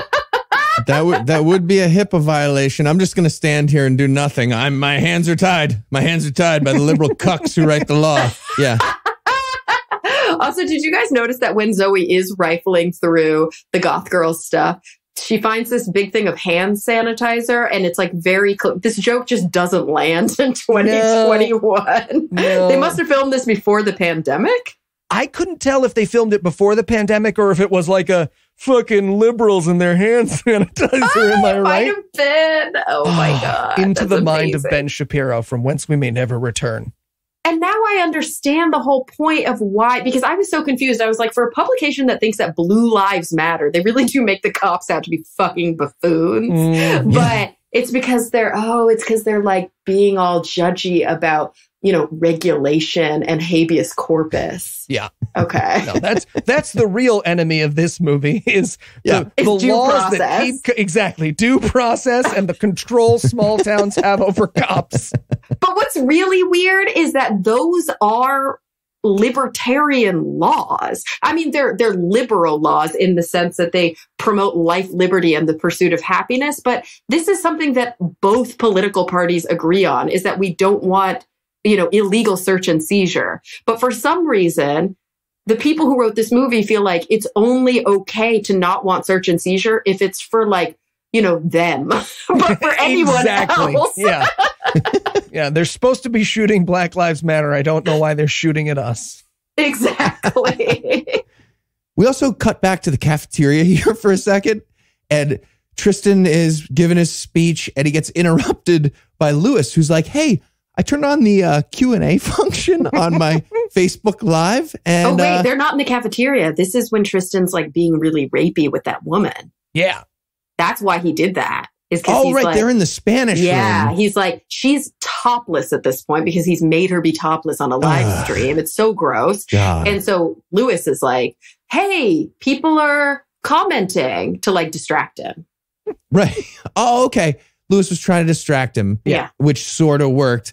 But then Tristan is like, "Yeah, actually, no, no, no, it's a good idea. Let's let's do a Q and A." Yeah, So He does. Yeah, I'm a narcissist. Let's do it.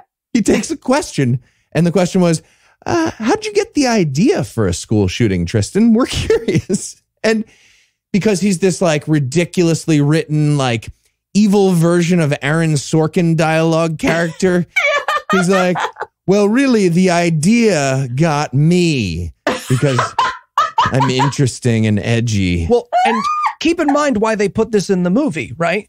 Hey, how'd you get this idea? the answer to that for all mass shooters, when you don't include gang violence, which is what the FBI has done to make it seem like white people and black people shoot the same amount of people, Mhm. is oh, it's because I am a disaffected white man between the ages of 16 and 45.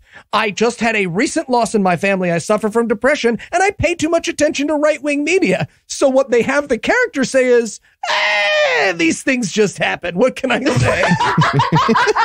couldn't couldn't point to one reason. There are so many. Ooh, not Ben Shapiro, I'll tell you that. Not Ben Post Shapiro. Truth Society, yada yada yada. Bright. No, I'm not going to say bright. uh, Just yada yada yada. I'm a terrorist now. Nothing in terrorist. between. It's not because I think that, you know, it's not because I'm an incel and think that women are property and owe men sex and I never get laid. So because of that, I'm going to take my frustration out on all of the, what do they call them? Chads and The Stacey's and Stacey's. Chads. Yes. Yes. Yes. Yes. It's not because of that. Yep. But that's also not why he slit his mom's throat. Right. Oh yeah, we learned that he he slit his mom's throat. Tristan killed his mom. We also learned that here. Great. which is you know also kind of standard Yep. like at least they did some homework they just got confused mm-hmm. as they were oh, is that their homework standard? Like in re? Oh, yeah. yeah. Yeah. yeah it's pretty standard Great. It's the only accurate part of the movie. yeah Okay. Well, we've got a young member of the Capitol Riot team doing a Q&A about his mass shooting and answering the questions like a Zen poet explaining a koan. That's fun. And by rule, that means we get another break. That's official. but first, let me give Act 3 the hard sell. What's the sound of one hand domestic terrorizing? Would 43 senators vote to acquit Tristan? shit Ben Shapiro's wife told him a wet vagina is a disease. That's not a question, but we're just going to say that here again. Well, find out the answer to those first two questions and more when we return for the totally unexpected fight part of Run, Hide, Fight. Are you sure this is going to work? hey who's the scientist here Yeah. Okay. Hey, Cara. Hey, Eli. Uh, okay. Uh, what's with the outfit? And Cara, what's with the firearm? What's going on? oh this no no no this is a beanbag gun i got it from a police auction Cool. Cool. Still, same question, though. I feel like it's Oh. still out there. eli's dealing with some muscle tension I sure am. yeah so i figured hey why don't we cover you in pillows and i can shoot you with a beanbag gun it'll be just like a massage but i don't have to touch you Will it? i mean that's what i told him Okay, why don't you just use a Theragun? what's a theragun Theragun is the handheld percussive therapy device that releases your deepest muscle tension using a calibrated combo of depth, speed, and power. And it's quiet as an electric toothbrush. really hmm Hey, that actually sounds a lot safer than this. So if we want Eli, to, Eli, shh, scientist. Right, right? Yeah, and the Gen 4 Theragun doesn't just feel good, it gets to the source of the pain by releasing tension using Theragun's signature percussive therapy, which goes 60% deeper than vibration alone. Whether you want to treat your muscle tension from working out, an injury, or just the stresses of everyday life, there's no substitute for the Theragun Gen 4. Plus, the OLED screen and design make you feel like you're holding something from the future. So just go to their site and check it out. And the Theragun app learns from your behaviors and suggests guided routines, That sounds awesome. right? It is. Theragun actually sent us a Theragun to try, and it was so good that me and Noah's wives stole ours. Eli, keep the pillow over your face. Right? Sorry. Sorry. Okay, but that's got to be super expensive, right? Not at all. Try Theragun for 30 days, starting at only $199. Go to theragun.com slash awful right now and get your Gen 4 Theragun today. That's theragun.com slash awful. Theragun.com slash awful. Can can we do that instead? Absolutely not. You ready? Yes. Good. Oof. Right in the junk. That's rough. Yeah, that's where I was aiming. Yep. Good work. And now back to Run, Hide, Fight. In a world with reasonable gun control measures in place. Everybody down on the ground. Dude, is that a bow and arrow? That's right. Now, everyone, get your phones out because I have a, a whole thing. Ow! Who threw that? Okay. Well, as soon as I get this, stop! I'm doing a murder. Stop it. You know what? I'm just going to write a sad poem in my room. That'll show you guys. Okay. Okay, that last one was funny. And we're back. And we're going to start with Zoe's dad, Thomas Jane, gutting a deer in his garage. Oh, I love this part because he hung the deer upside down. He did.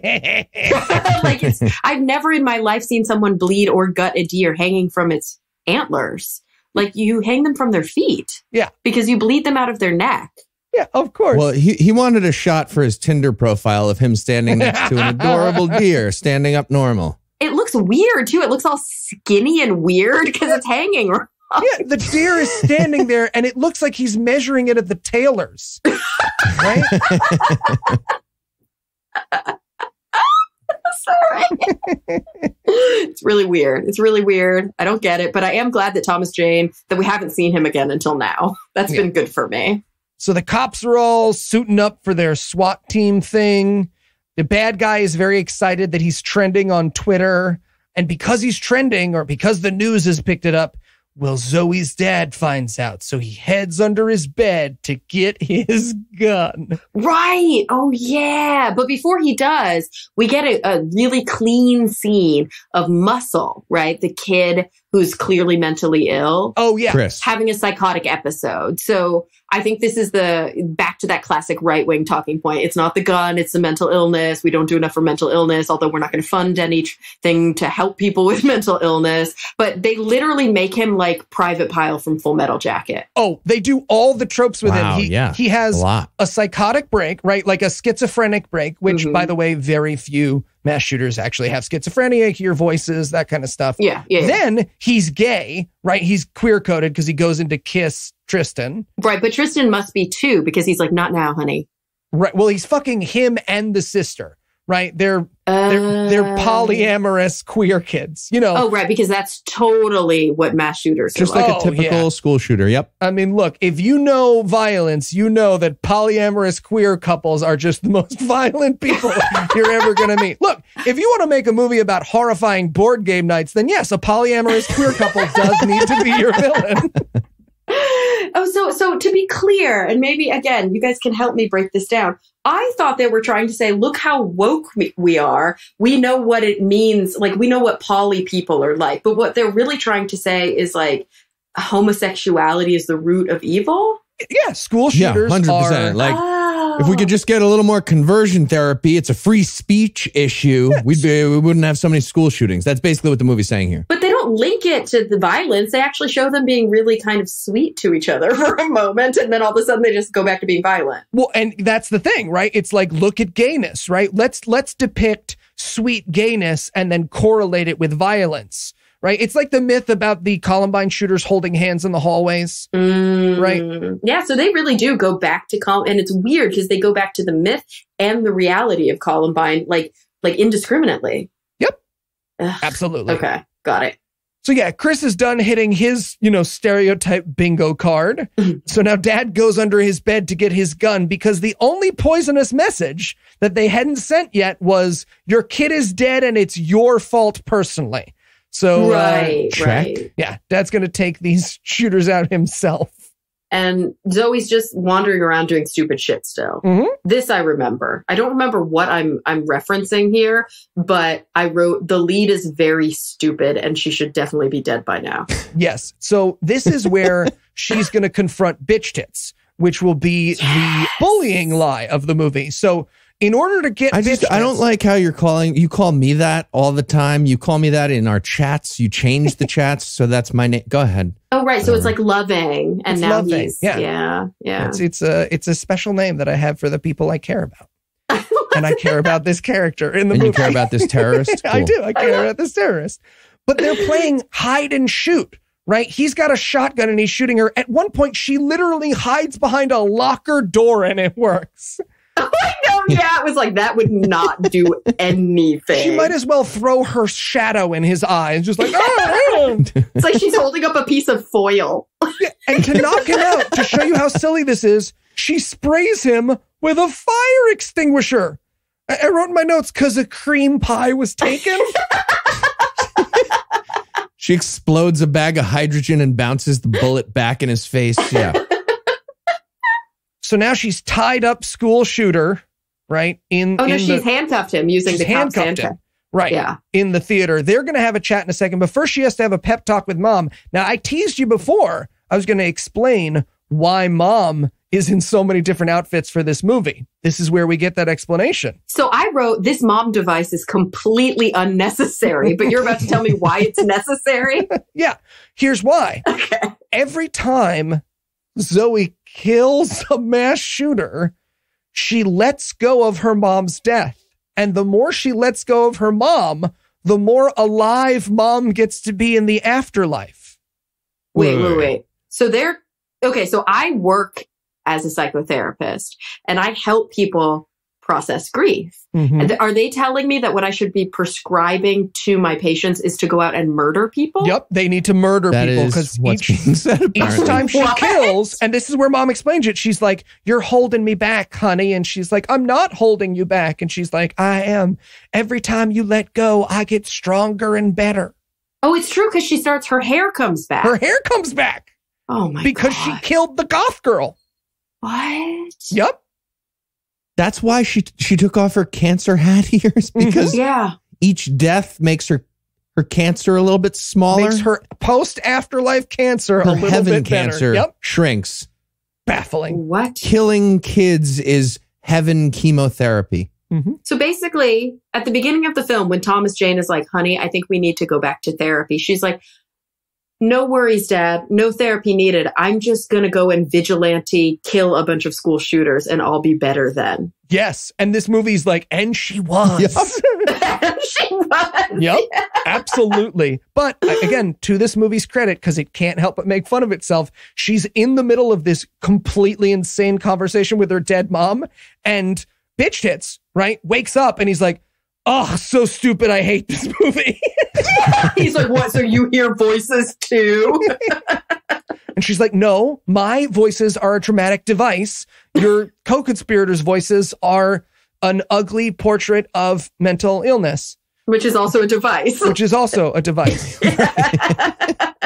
And this is where it's time for this kid to try to earn his Oscar because he's a mass shooter because he was bullied. And fun fact mass shooters aren't bullied. In fact, overwhelmingly, they are bullies yeah. and they're Ben Shapiro fans. Well, this is why I like Tristan because Tristan is like a quintessential mass shooter. And according to Ben Shapiro's fans, bullying is free speech. So they don't know what side of the argument they're on here. right. And also, this kid describes, and don't get me wrong, it's a traumatic experience. So I don't want to belittle it. Like he's talking about getting pantsed by kids on the playground in sixth grade. And like, it's really sad, right? And I think that in the therapeutic space, talking about these early childhood experiences of embarrassment and shame and trauma is really important for, for growth and healing. But the idea that he got pantsed and that's why now he wants to murder everybody at the school is so disgusting. Like it's so just inhuman that they, they thought that that would be a realistic or legitimate plot point. If embarrassment during middle school caused mass shootings, I would have killed so many goddamn people. Exactly. And to be very clear, statistically, it does not. The instances where kids are bullied and then mass shoot is close to zero. Now, there are instances where kids are bullied constantly and they come in and kill their abusers. That's not a mass shooting. But more often they're bullied and then they kill themselves. Right. What happens more often is they kill themselves. And the reason why this trope is in this movie is one, we don't want to talk about mental illness and depression in society, and Ben Shapiro Mhm. sure doesn't, but because it reinforces the trope of losers are dangerous, right? Right. It reinforces the trope of the people who are bullied deserve it. Because this character, who then murders people randomly because he was bullied, is a bad character. It's robbing us of our empathy Yeah. for the victims of bullying, who again, do not enact violence on their abusers the vast, vast majority of the time, right? This is the fantasy of an abuser justifying their abuse. Absolutely. I mean, it goes down to these larger society ills of the people who are the weakest among us and the people who are the most kind of disenfranchised want it to be that way. It's because they are weak in their constitution and don't worry about the fact that they're disenfranchised because they're criminals anyway. Right. It's disgusting. But those, those of us who are in power, those of us like white men who have, you know, hold a moral position in society because we contribute to, you know, our capitalist values, because we contribute to making sure that we're giving jobs to people, making sure that we're kind of running the show. It's okay if we abuse that power a little bit because we're actually just taking it out on people who deserve it anyway. Right. Exactly. Exactly. It's setting up victims to be deserving. Because again, this movie is written by society's bullies for society's bullies. But that's okay. Zoe's going to change him into a good guy by pointing out that, hey, a girl who didn't bully you died. And he's going to be like, oh my gosh, I'm a good guy now. So he's redeemed. I, I don't know. Meanwhile, we're watching the bad guy monologue some more on Facebook. He's telling us that it's not video games' fault. I wrote my notes. Gamers rise up. Thank you, Ben Shapiro. Yeah. It's not because I like Fortnite. This is, it's about ethics in gaming journalism, is why I'm doing this. Yeah. I hate this movie. Oh, it's so bad. It's also really long. At this point, I paused it and I was like, oh my God, we're only halfway through. Yep. Yep. Oh God, is this the halfway I'm point? pretty sure it is. I think that's why I wrote this movie is very long. Oh, But this is where Tristan gets the cops on the phone and they they banter in stereotypes and I don't know, Heath and Cara, maybe you can tell me how masterful this performance was, but I it was so boring. He goes, "I'm an agent of chaos." Shit, that's an exact Batman quote. I'm an agent of change. yeah.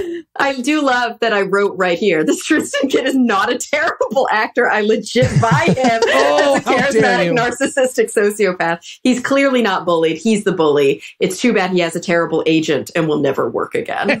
Okay. but he can be on our podcast. Does he call himself a midwife of truth here Mhm. also? He didn't write the script. we can't blame Right. No, he's a good actor delivering that ridiculous fucking line, and he pulls it off. And I still buy it. I still buy it because he's that good, Eli. oh, hashtag Tristan Gate. This is like the ultimate test. This is how you should have to get into like RADA is by acting a Ben Shapiro script successfully. So by by the way, you guys, so I'm watching this and I have I'm, my partner's in town and he lives in Scotland and we're watching this together. And he's really confused because not only is hunting culture completely different in Scotland, people don't have handguns really in Scotland. Schools confuse him. He goes, he literally said, Why does the school logo, like it was on this the wall of the cafeteria? He goes, Why does that school logo look like a sports team logo? And I was like, That's what school logos look like. And he was like, What? And I Googled all my old school logos and he was so confused because in Scotland, all the school logos are like crests. yeah. So he was like, he was like, why does this look like the NBA? But anyway, the main thing that he asked is why it, are news stations actually live, like showing this live stream? That would never happen home. And I was like, no, I think it might happen here. Oh, are you kidding? Yeah, Here, there'd be a congressional hearing on the right of Periscope to show the shooting. and- exactly. Is it allowed? uh, Can YouTube monetize the particular kills? Are they allowed to do super chats? It wasn't happening in Australia, but pretty much the rest of the world. Yeah. but he was literally asking, he was like, I don't get it. Like, that would never fly. That would never be legal for mainstream news outlets to like show a live stream of an active situation. And I was like, Have you ever seen the news here in LA? Like, the entire news is funded by car chases. Yep. Like, it's the only thing people watch on the news in LA. We love car chases. Absolutely. And anything horrible could happen at any moment. I think the only thing they rely on is like an eight second delay hmm but they're on all the time here. And like, you know, I do see that there would be some sort of a periscope thing, like you said. But honestly, I think Twitter, maybe not Twitter, at this point, Facebook would probably shut it down. Don't you think? The live stream? Oh, uh, well, that Mm-hmm. has certainly hasn't been the case the last couple of mass shootings. Although you know You're they shut down one particular stream, and then of course it gets copied by Nazis, who then show it again. Yeah. They'd shut it down five years afterwards, like they did with Donald Trump. Yeah, just, exactly. Just You're about right. right in time. Right in time. And by the way, keep in mind they can shut them down. They choose not to, right? You can digitally code stuff so that it shuts it down. It's why, for instance, you can't put a Disney song on Facebook, no matter how many streams. Right. you They're have. very good at shutting those down. mass shootings, not so much. Yeah. So, yeah, Thomas Jane sneaks around a little bit. He gets his gun. He's trying to snipe the kids, but they're blocked by the Trump wall that they built against the windows. You're right. but this is where Tristan finds out about Zoe, and they, they really do the Die Hard thing. He does the like, get down here, to, or else I'm going to kill a kid every five minutes. Yo, yeah, you're right. Yeah. And he says, All right, I'm going to kill somebody every five minutes if you don't come down to the cafeteria. And then he shoots somebody immediately. Mhm. And Zoe's like, Oh, well, you're going to start at zero, I guess. That's just, it's just a weird system. I figured it would be. Like I would get it either. All right, all right. I'm just going to give a speech to this to this kid in the theater, and then I'll catch you at like four and a half minutes, probably. It'll be Oh, you're right. She just like dawdles for a while. She does. She, we watch her limp down the hallway and we're like, oh, she's going to turn herself in. But instead, she stops the theater, unlocks the the kid, right? The bullied kid, gives him a you fucking suck and you're fat pep talk. I'm not making that up, by the way. No. She's like, you're fat. Or she you calls him That's back. it. Yeah, she does. It's supposed to be a big speech to turn him into a good guy, and she's like, "You're a fat kid." Yeah. Is that helpful? And then she hands him a gun. she rearms him. Yes. she she gives him a gun. If he shoots her there, credits. I would have loved this movie. no, it makes no sense. What the fuck is wrong with her? And also, this is the point in the movie where she's full on Ash with the boomstick because what we never we never mentioned before is that she got shot in the leg at some point and Yeah. she like tourniqueted her leg with a belt. So that's why she's like hobbling around, but she looks like a total badass. She has like a Rey from Star Wars, like a Yeah. um, what's her Little bit of name? Tank Um, girl, Tank Girl or uh, Jon Voight's daughter, Angelina Jolie. Angelina Jolie. What movie is she in where she looks like a total badass like this? All of them. All of them, No, exactly. it's like a video Except game. for the it's a video game movie. Lara Croft Tomb Raider. yes, she's Lara Croft. There were two of those movies. They're great. Yeah. Gone in 60 seconds, stealing Ferraris. Anyways, she does Mr. and. Mrs. Smith. You met Mr. and Mrs. Smith. It's that amazing movie with her. She turns herself into the cafeteria and she has some banter with the villain. The, the best part is right at the beginning. She walks in and he's like, What up, green jacket girl? Green jacket she wears. And he's like, damn it, that's what I was calling. her. Oh. She looks like Woody Allen, right? like, like Annie Hall. Remember Woody? You guys are too young. Whatever. Way too young. I'm a 55 year old high school student. oh, by the way, yes, why is everybody 30? All the lead roles are in their mid 30s. Oh, absolutely. The background actors are all actual underage kids, though, so it's really clear that the lead actors are super old. Mm. So she asks him why he's doing this. And again, he can't say because I was radicalized by right wing media. So he says, I like being definitive. I don't remember any of this dialogue. You're It's- so You- good, Why Eli. would you? Why would you? It's Ben Shapiro trying to get out of the ticket of his legacy while a cop anally searches him. He's like, no, maybe they just like being definitive. so, but just as he's about to shoot her because she's the good guy and she's been stopping his plans, wouldn't you know it? But bullied kid shows up to save the day and oh, then right. immediately gets killed by mentally ill guy. Well, does he save the day? No, he does nothing. He has no plan here. It makes no sense. He walks in, he's got a gun. So that's, I guess, good step one. But he just walks into the cafeteria where two bad guys, at least maybe three, also have guns. And he's like, put your guns down.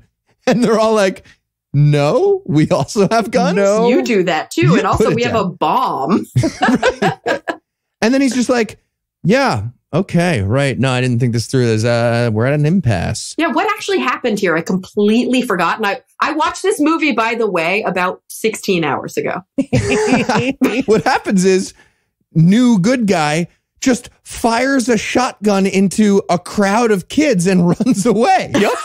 and then gets shot instantly. And Zoe's like, eh, well, you got to crack some eggs. Uh, What are you going to do? Like, she gave him that gun back, and then he probably killed somebody on accident. Yeah. Or on purpose. We don't even know. Yeah.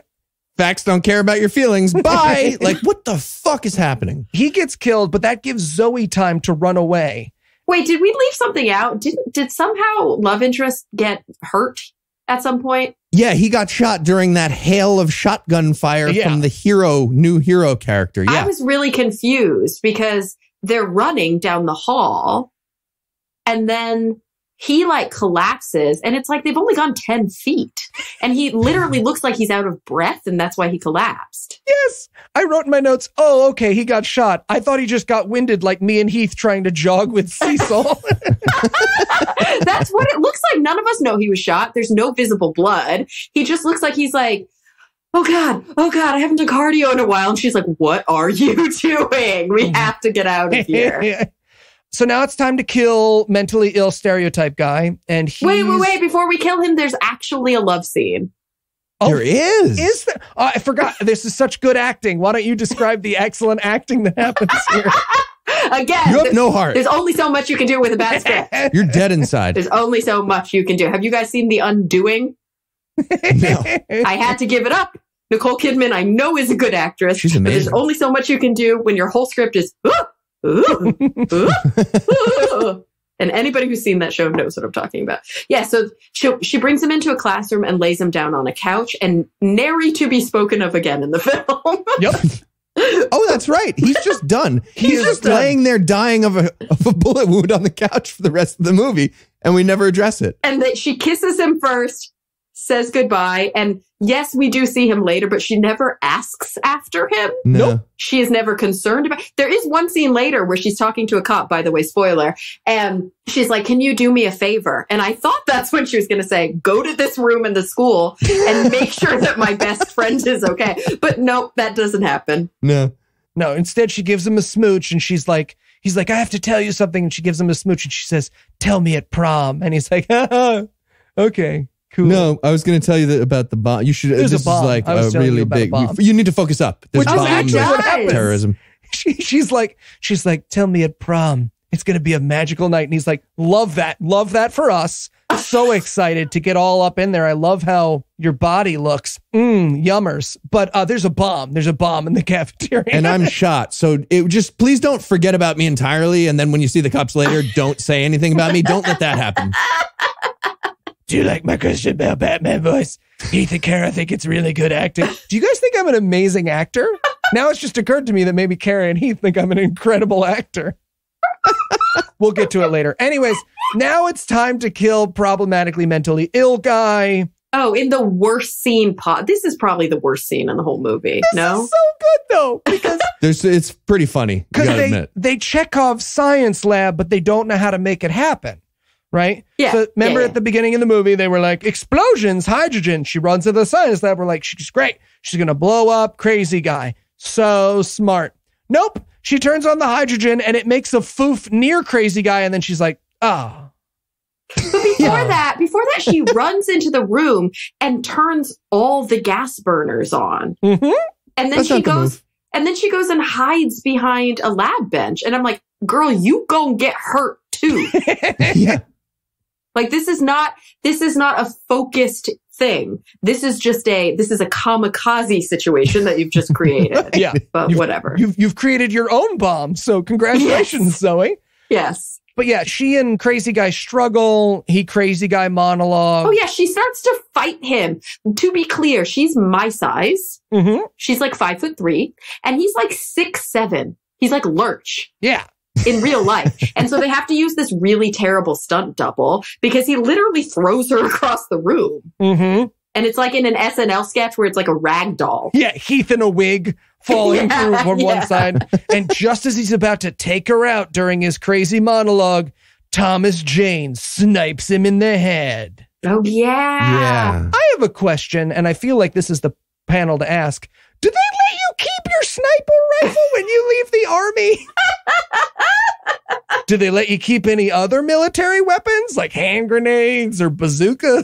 Well, I'm pretty sure that this movie takes place in Texas or somewhere like it. that's So true. I think He- you can just buy a sniper from like 7-Eleven. yeah, he probably picked that up at a Walmart on his way there. Yeah, Okay. like or like he opened a new checking account at his bank and they gave it to him. Also, that room's full of hydrogen gas now. If the whole room exploded when he shot through the window and he was just like, ah, did not see that coming. I don't think think the room's full of hydrogen gas. She she exploded the little hydrogen thing that Yeah, she made. little hydrogen. Little. I thought she turned on all the taps, but used one of them to make her little one. Yeah, the movie forgot. The taps aren't full of hydrogen.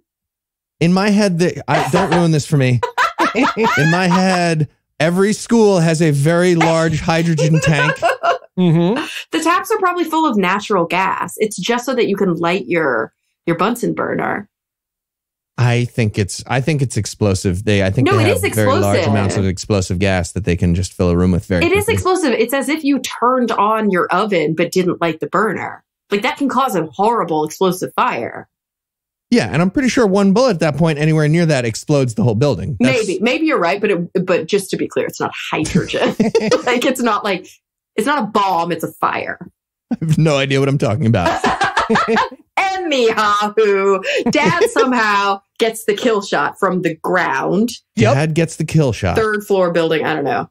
Dad, to be clear, has decided to become a vigilante sniper, but not tell the cops about it and just do it on his own. Right, and we watch him being arrested. That's what happens. Yeah, he's like, "Look, I'm helping." She notices that it's Dad and gives him like a really kind of like sup look, and then he goes, "Sup." she gives him the head nod, like, Bing. "Good job killing that person Wink. who you had absolutely no way of knowing was one of the school shooters, Dad." Yeah. really wanted Dad to accidentally shoot the boyfriend as they were going down the hallway. Oh, sorry, that's on me, honey kitten. That's on Daddy. or to accidentally shoot Honey Kitten. Like there are multiple scenes where the dad is training his scope like on her head. Yeah. What? I Ridiculous. could be single again. Can you imagine being a father and looking through the scope of your sniper rifle at your own daughter? Wouldn't you be like, I think maybe I should put this gun away? Yep. You know what? Something's wrong. Something's happening in my life to bring me to this point. I feel like I've taken a wrong turn somewhere. This Yeah. is maybe I've gone too far. But he, he snipes the guy, and then we watch super polite FBI and cops like nicely arrest him. They're just like, sir, sir, uh, you're not allowed technically to be a vigilante sniper. Please come with us nicely. Come with us. We get yes, we can stop at Burger King on the way. Thank you for asking. so I'm going to save everyone a ton of time for these next two scenes. One, because they're terribly shot, and two, because they don't matter at all. Uh-huh. Here's what happens Tristan grabs a random kid from the crowd and walks off with one of the bomb buckets. The movie will not explain this, but what Tristan then does is kills that kid and then blows up the bomb bucket to fake his own death.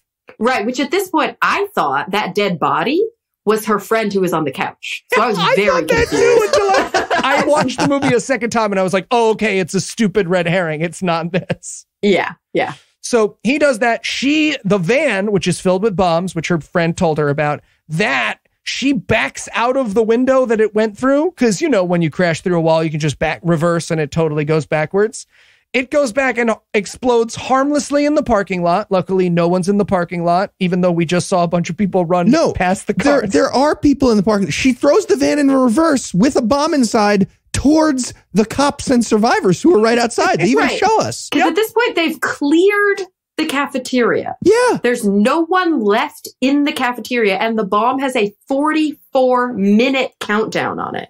oh no, it's 44 seconds. I thought it was 44 Oh, seconds. It is that 44 makes more seconds. sense. Though 44 minutes is the movie we should remake. If they, oh, if we just got to watch that, 44 minutes after. to be clear, there's no leading zeros. No, there are not. so it looks like 44 minutes and some seconds when now I'm learning it's 44 seconds and some 44 minutes is so much better though. Like they're all standing outside while the van just sits there.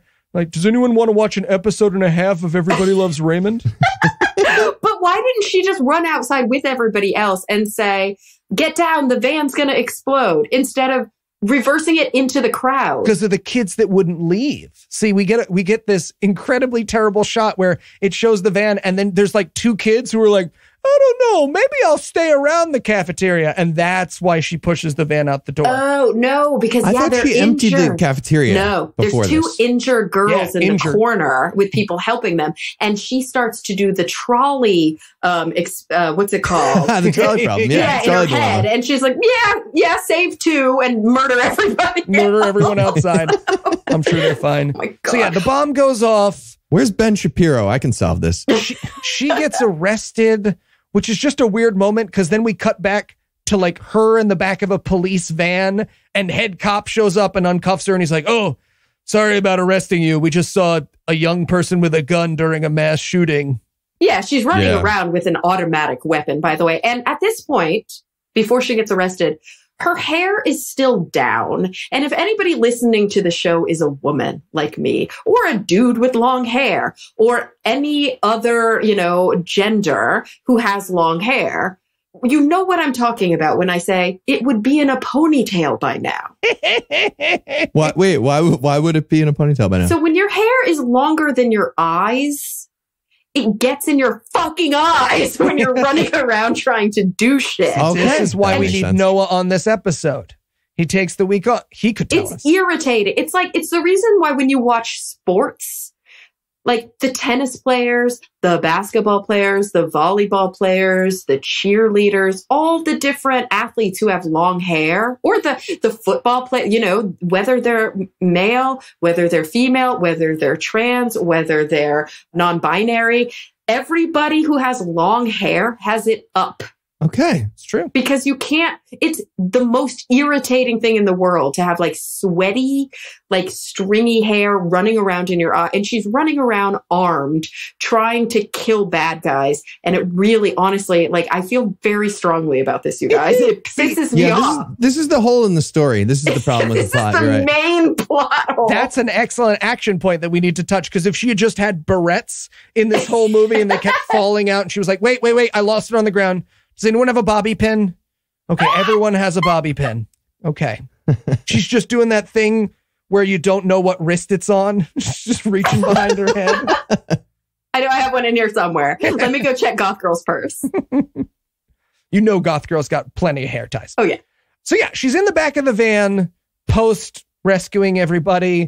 the cop's like, "Good job, uh, stopping that mass shooting. Yeah. Unfortunately, our hands were tied by the liberal media." Yeah, sorry. Turns out Black Lives Matter, so we had to stay outside the whole time. But uh, good working there doing our job. oh and i think dead mom came back at some point Yeah, dead mom is totally great. She's like, "Yep, you've killed three people. I'm I'm ready to go off to heaven." she talks to dad real quick. She's like, "Dad, are are you going to go to jail for sniping a child in the head?" And he's like, eh, "Don't worry about it. Hand wavy movie stuff. Hand wavy movie stuff." And then she sees Tristan walking away from the crowd. he's going to get away with it. and he's got a maga hat on Yep, he's got a red hat on.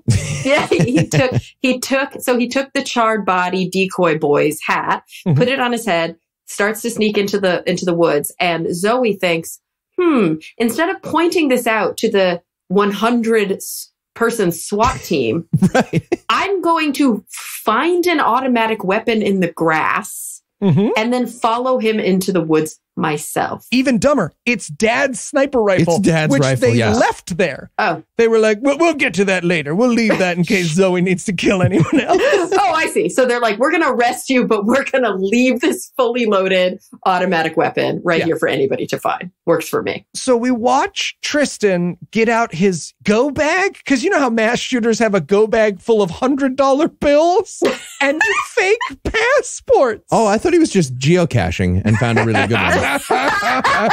oh my God. I love it. no, but he's going through his money and she shoots him. And then remember the monologue from the very beginning? God, such good mo- movie making. She's like, Your lungs are going to fill with blood. I won't let you suffer. And then she goes, and this is so fucking stupid. I love it so much. She goes, This is the best. or will I? and then she leaves next to Oh, right. psych or She does a- She she literally picks up a boulder and does a knot and like fake smashes his face with the boulder and is like, or will I? Leaving, I yes, I will leave you to suffer. That's it. That's what's happening here. So to be clear, once again, this is the good girl, quote unquote, Mm-hmm. the good guy in the movie who's fully armed, who out of spite and vindictiveness, out of revenge, follows the school shooter into the woods when there are law enforcement officials who could go and arrest him yep. because he's not even any he's not even armed at this point instead she goes murders him in cold blood and then lets him slowly die a painful death because that's healthy Yep. She shoots him with the sniper rifle like a deer, gives the same speech to tie up that amazing loose end that they started, and walks away.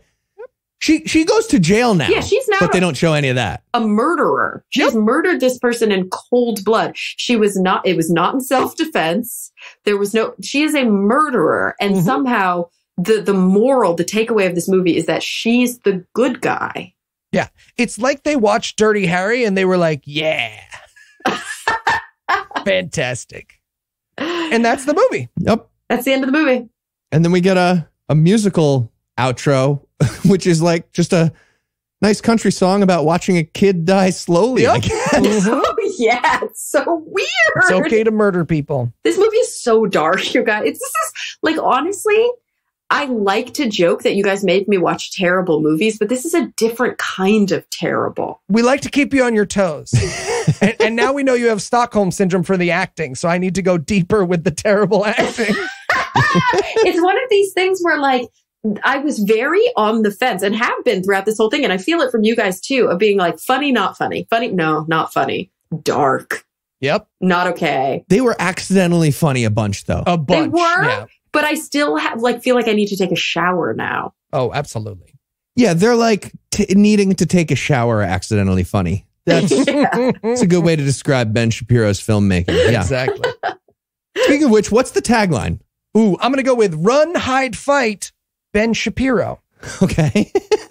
I like it. Um, murder in cold blood is only acceptable if you're doing it for revenge, apparently. Yeah, oh, that's a good one. Yeah, then accurate. it's good and it's a heroine character. Yeah, yeah, then you're the good And guy. It's awesome. Yeah. And country music, the end. Yep. All right. Well, while that does it for our review of Run, Hide, Fight, that's not going to do it for the episode just yet because we still have a mullet-tacular to announce. Eli, what's on deck? Well, Heath, after this week, I think it's time to kick back and have some fun with the Christian action film starring Dog the Bounty Hunter, Hunter's Creed. Fantastic. All right. Well, with that to look forward to, we're going to bring episode 288 to a merciful close. Big thanks to Cara, as always, for joining us. And in case anybody's new, where can they go for some uh, some of your power nerd content that you have? Apparently, you just got to hit up iloveskinbooks.com because it's um it's That'll still live. I just checked. I refresh it every. I will refresh it for uh, the rest of our lives. And of course, big thanks to our Patreon donors for all the generosity. If you'd like to help support the show, you can make a per episode donation at patreon.com slash godawful, and that'll get you early access to an ad-free version of every episode. You can also help us out by leaving us good reviews, by sharing the show on all your various social media platforms as well. And if you enjoyed this show, be sure to check out our sibling shows, The Scathing Atheist, Citation Needed, The Skeptocrat, and D&D Minus, available in all the podcast places. If you have questions, comments, or cinematic suggestions, you can email godawfulmovies at gmail.com. Legal services for this podcast are provided by the law offices of Pietro Torres. Our theme song is written and performed by Ryan Slotnick of Evil Giraffes on Mars. All of the music was written and performed by our audio engineer Morgan Clark and was used with permission. Thanks for giving us a chunk of your life this week. For Eli Bosnick and Cara Santa Maria, I'm Heath Enwright, promising to work hard to earn another chunk next week. Until then, we'll leave you with the Animal House close. Breakfast Club. Our heroine, Zoe, lived the rest of her life with the horrific trauma of witnessing her fellow classmates get murdered and then choosing to murder the shooter herself, even though she didn't have to. But hey, at least she got to fight in a war like her daddy always wanted. Ben Shapiro's wife went on to tell him that a wet vagina is the disease. The listener who used to email us every time we mentioned guns on any of our shows literally shot himself in the foot last year and hasn't emailed us since. Are you serious? 100% true. He forgot he oh had Oh messaged me on Facebook. oh my god.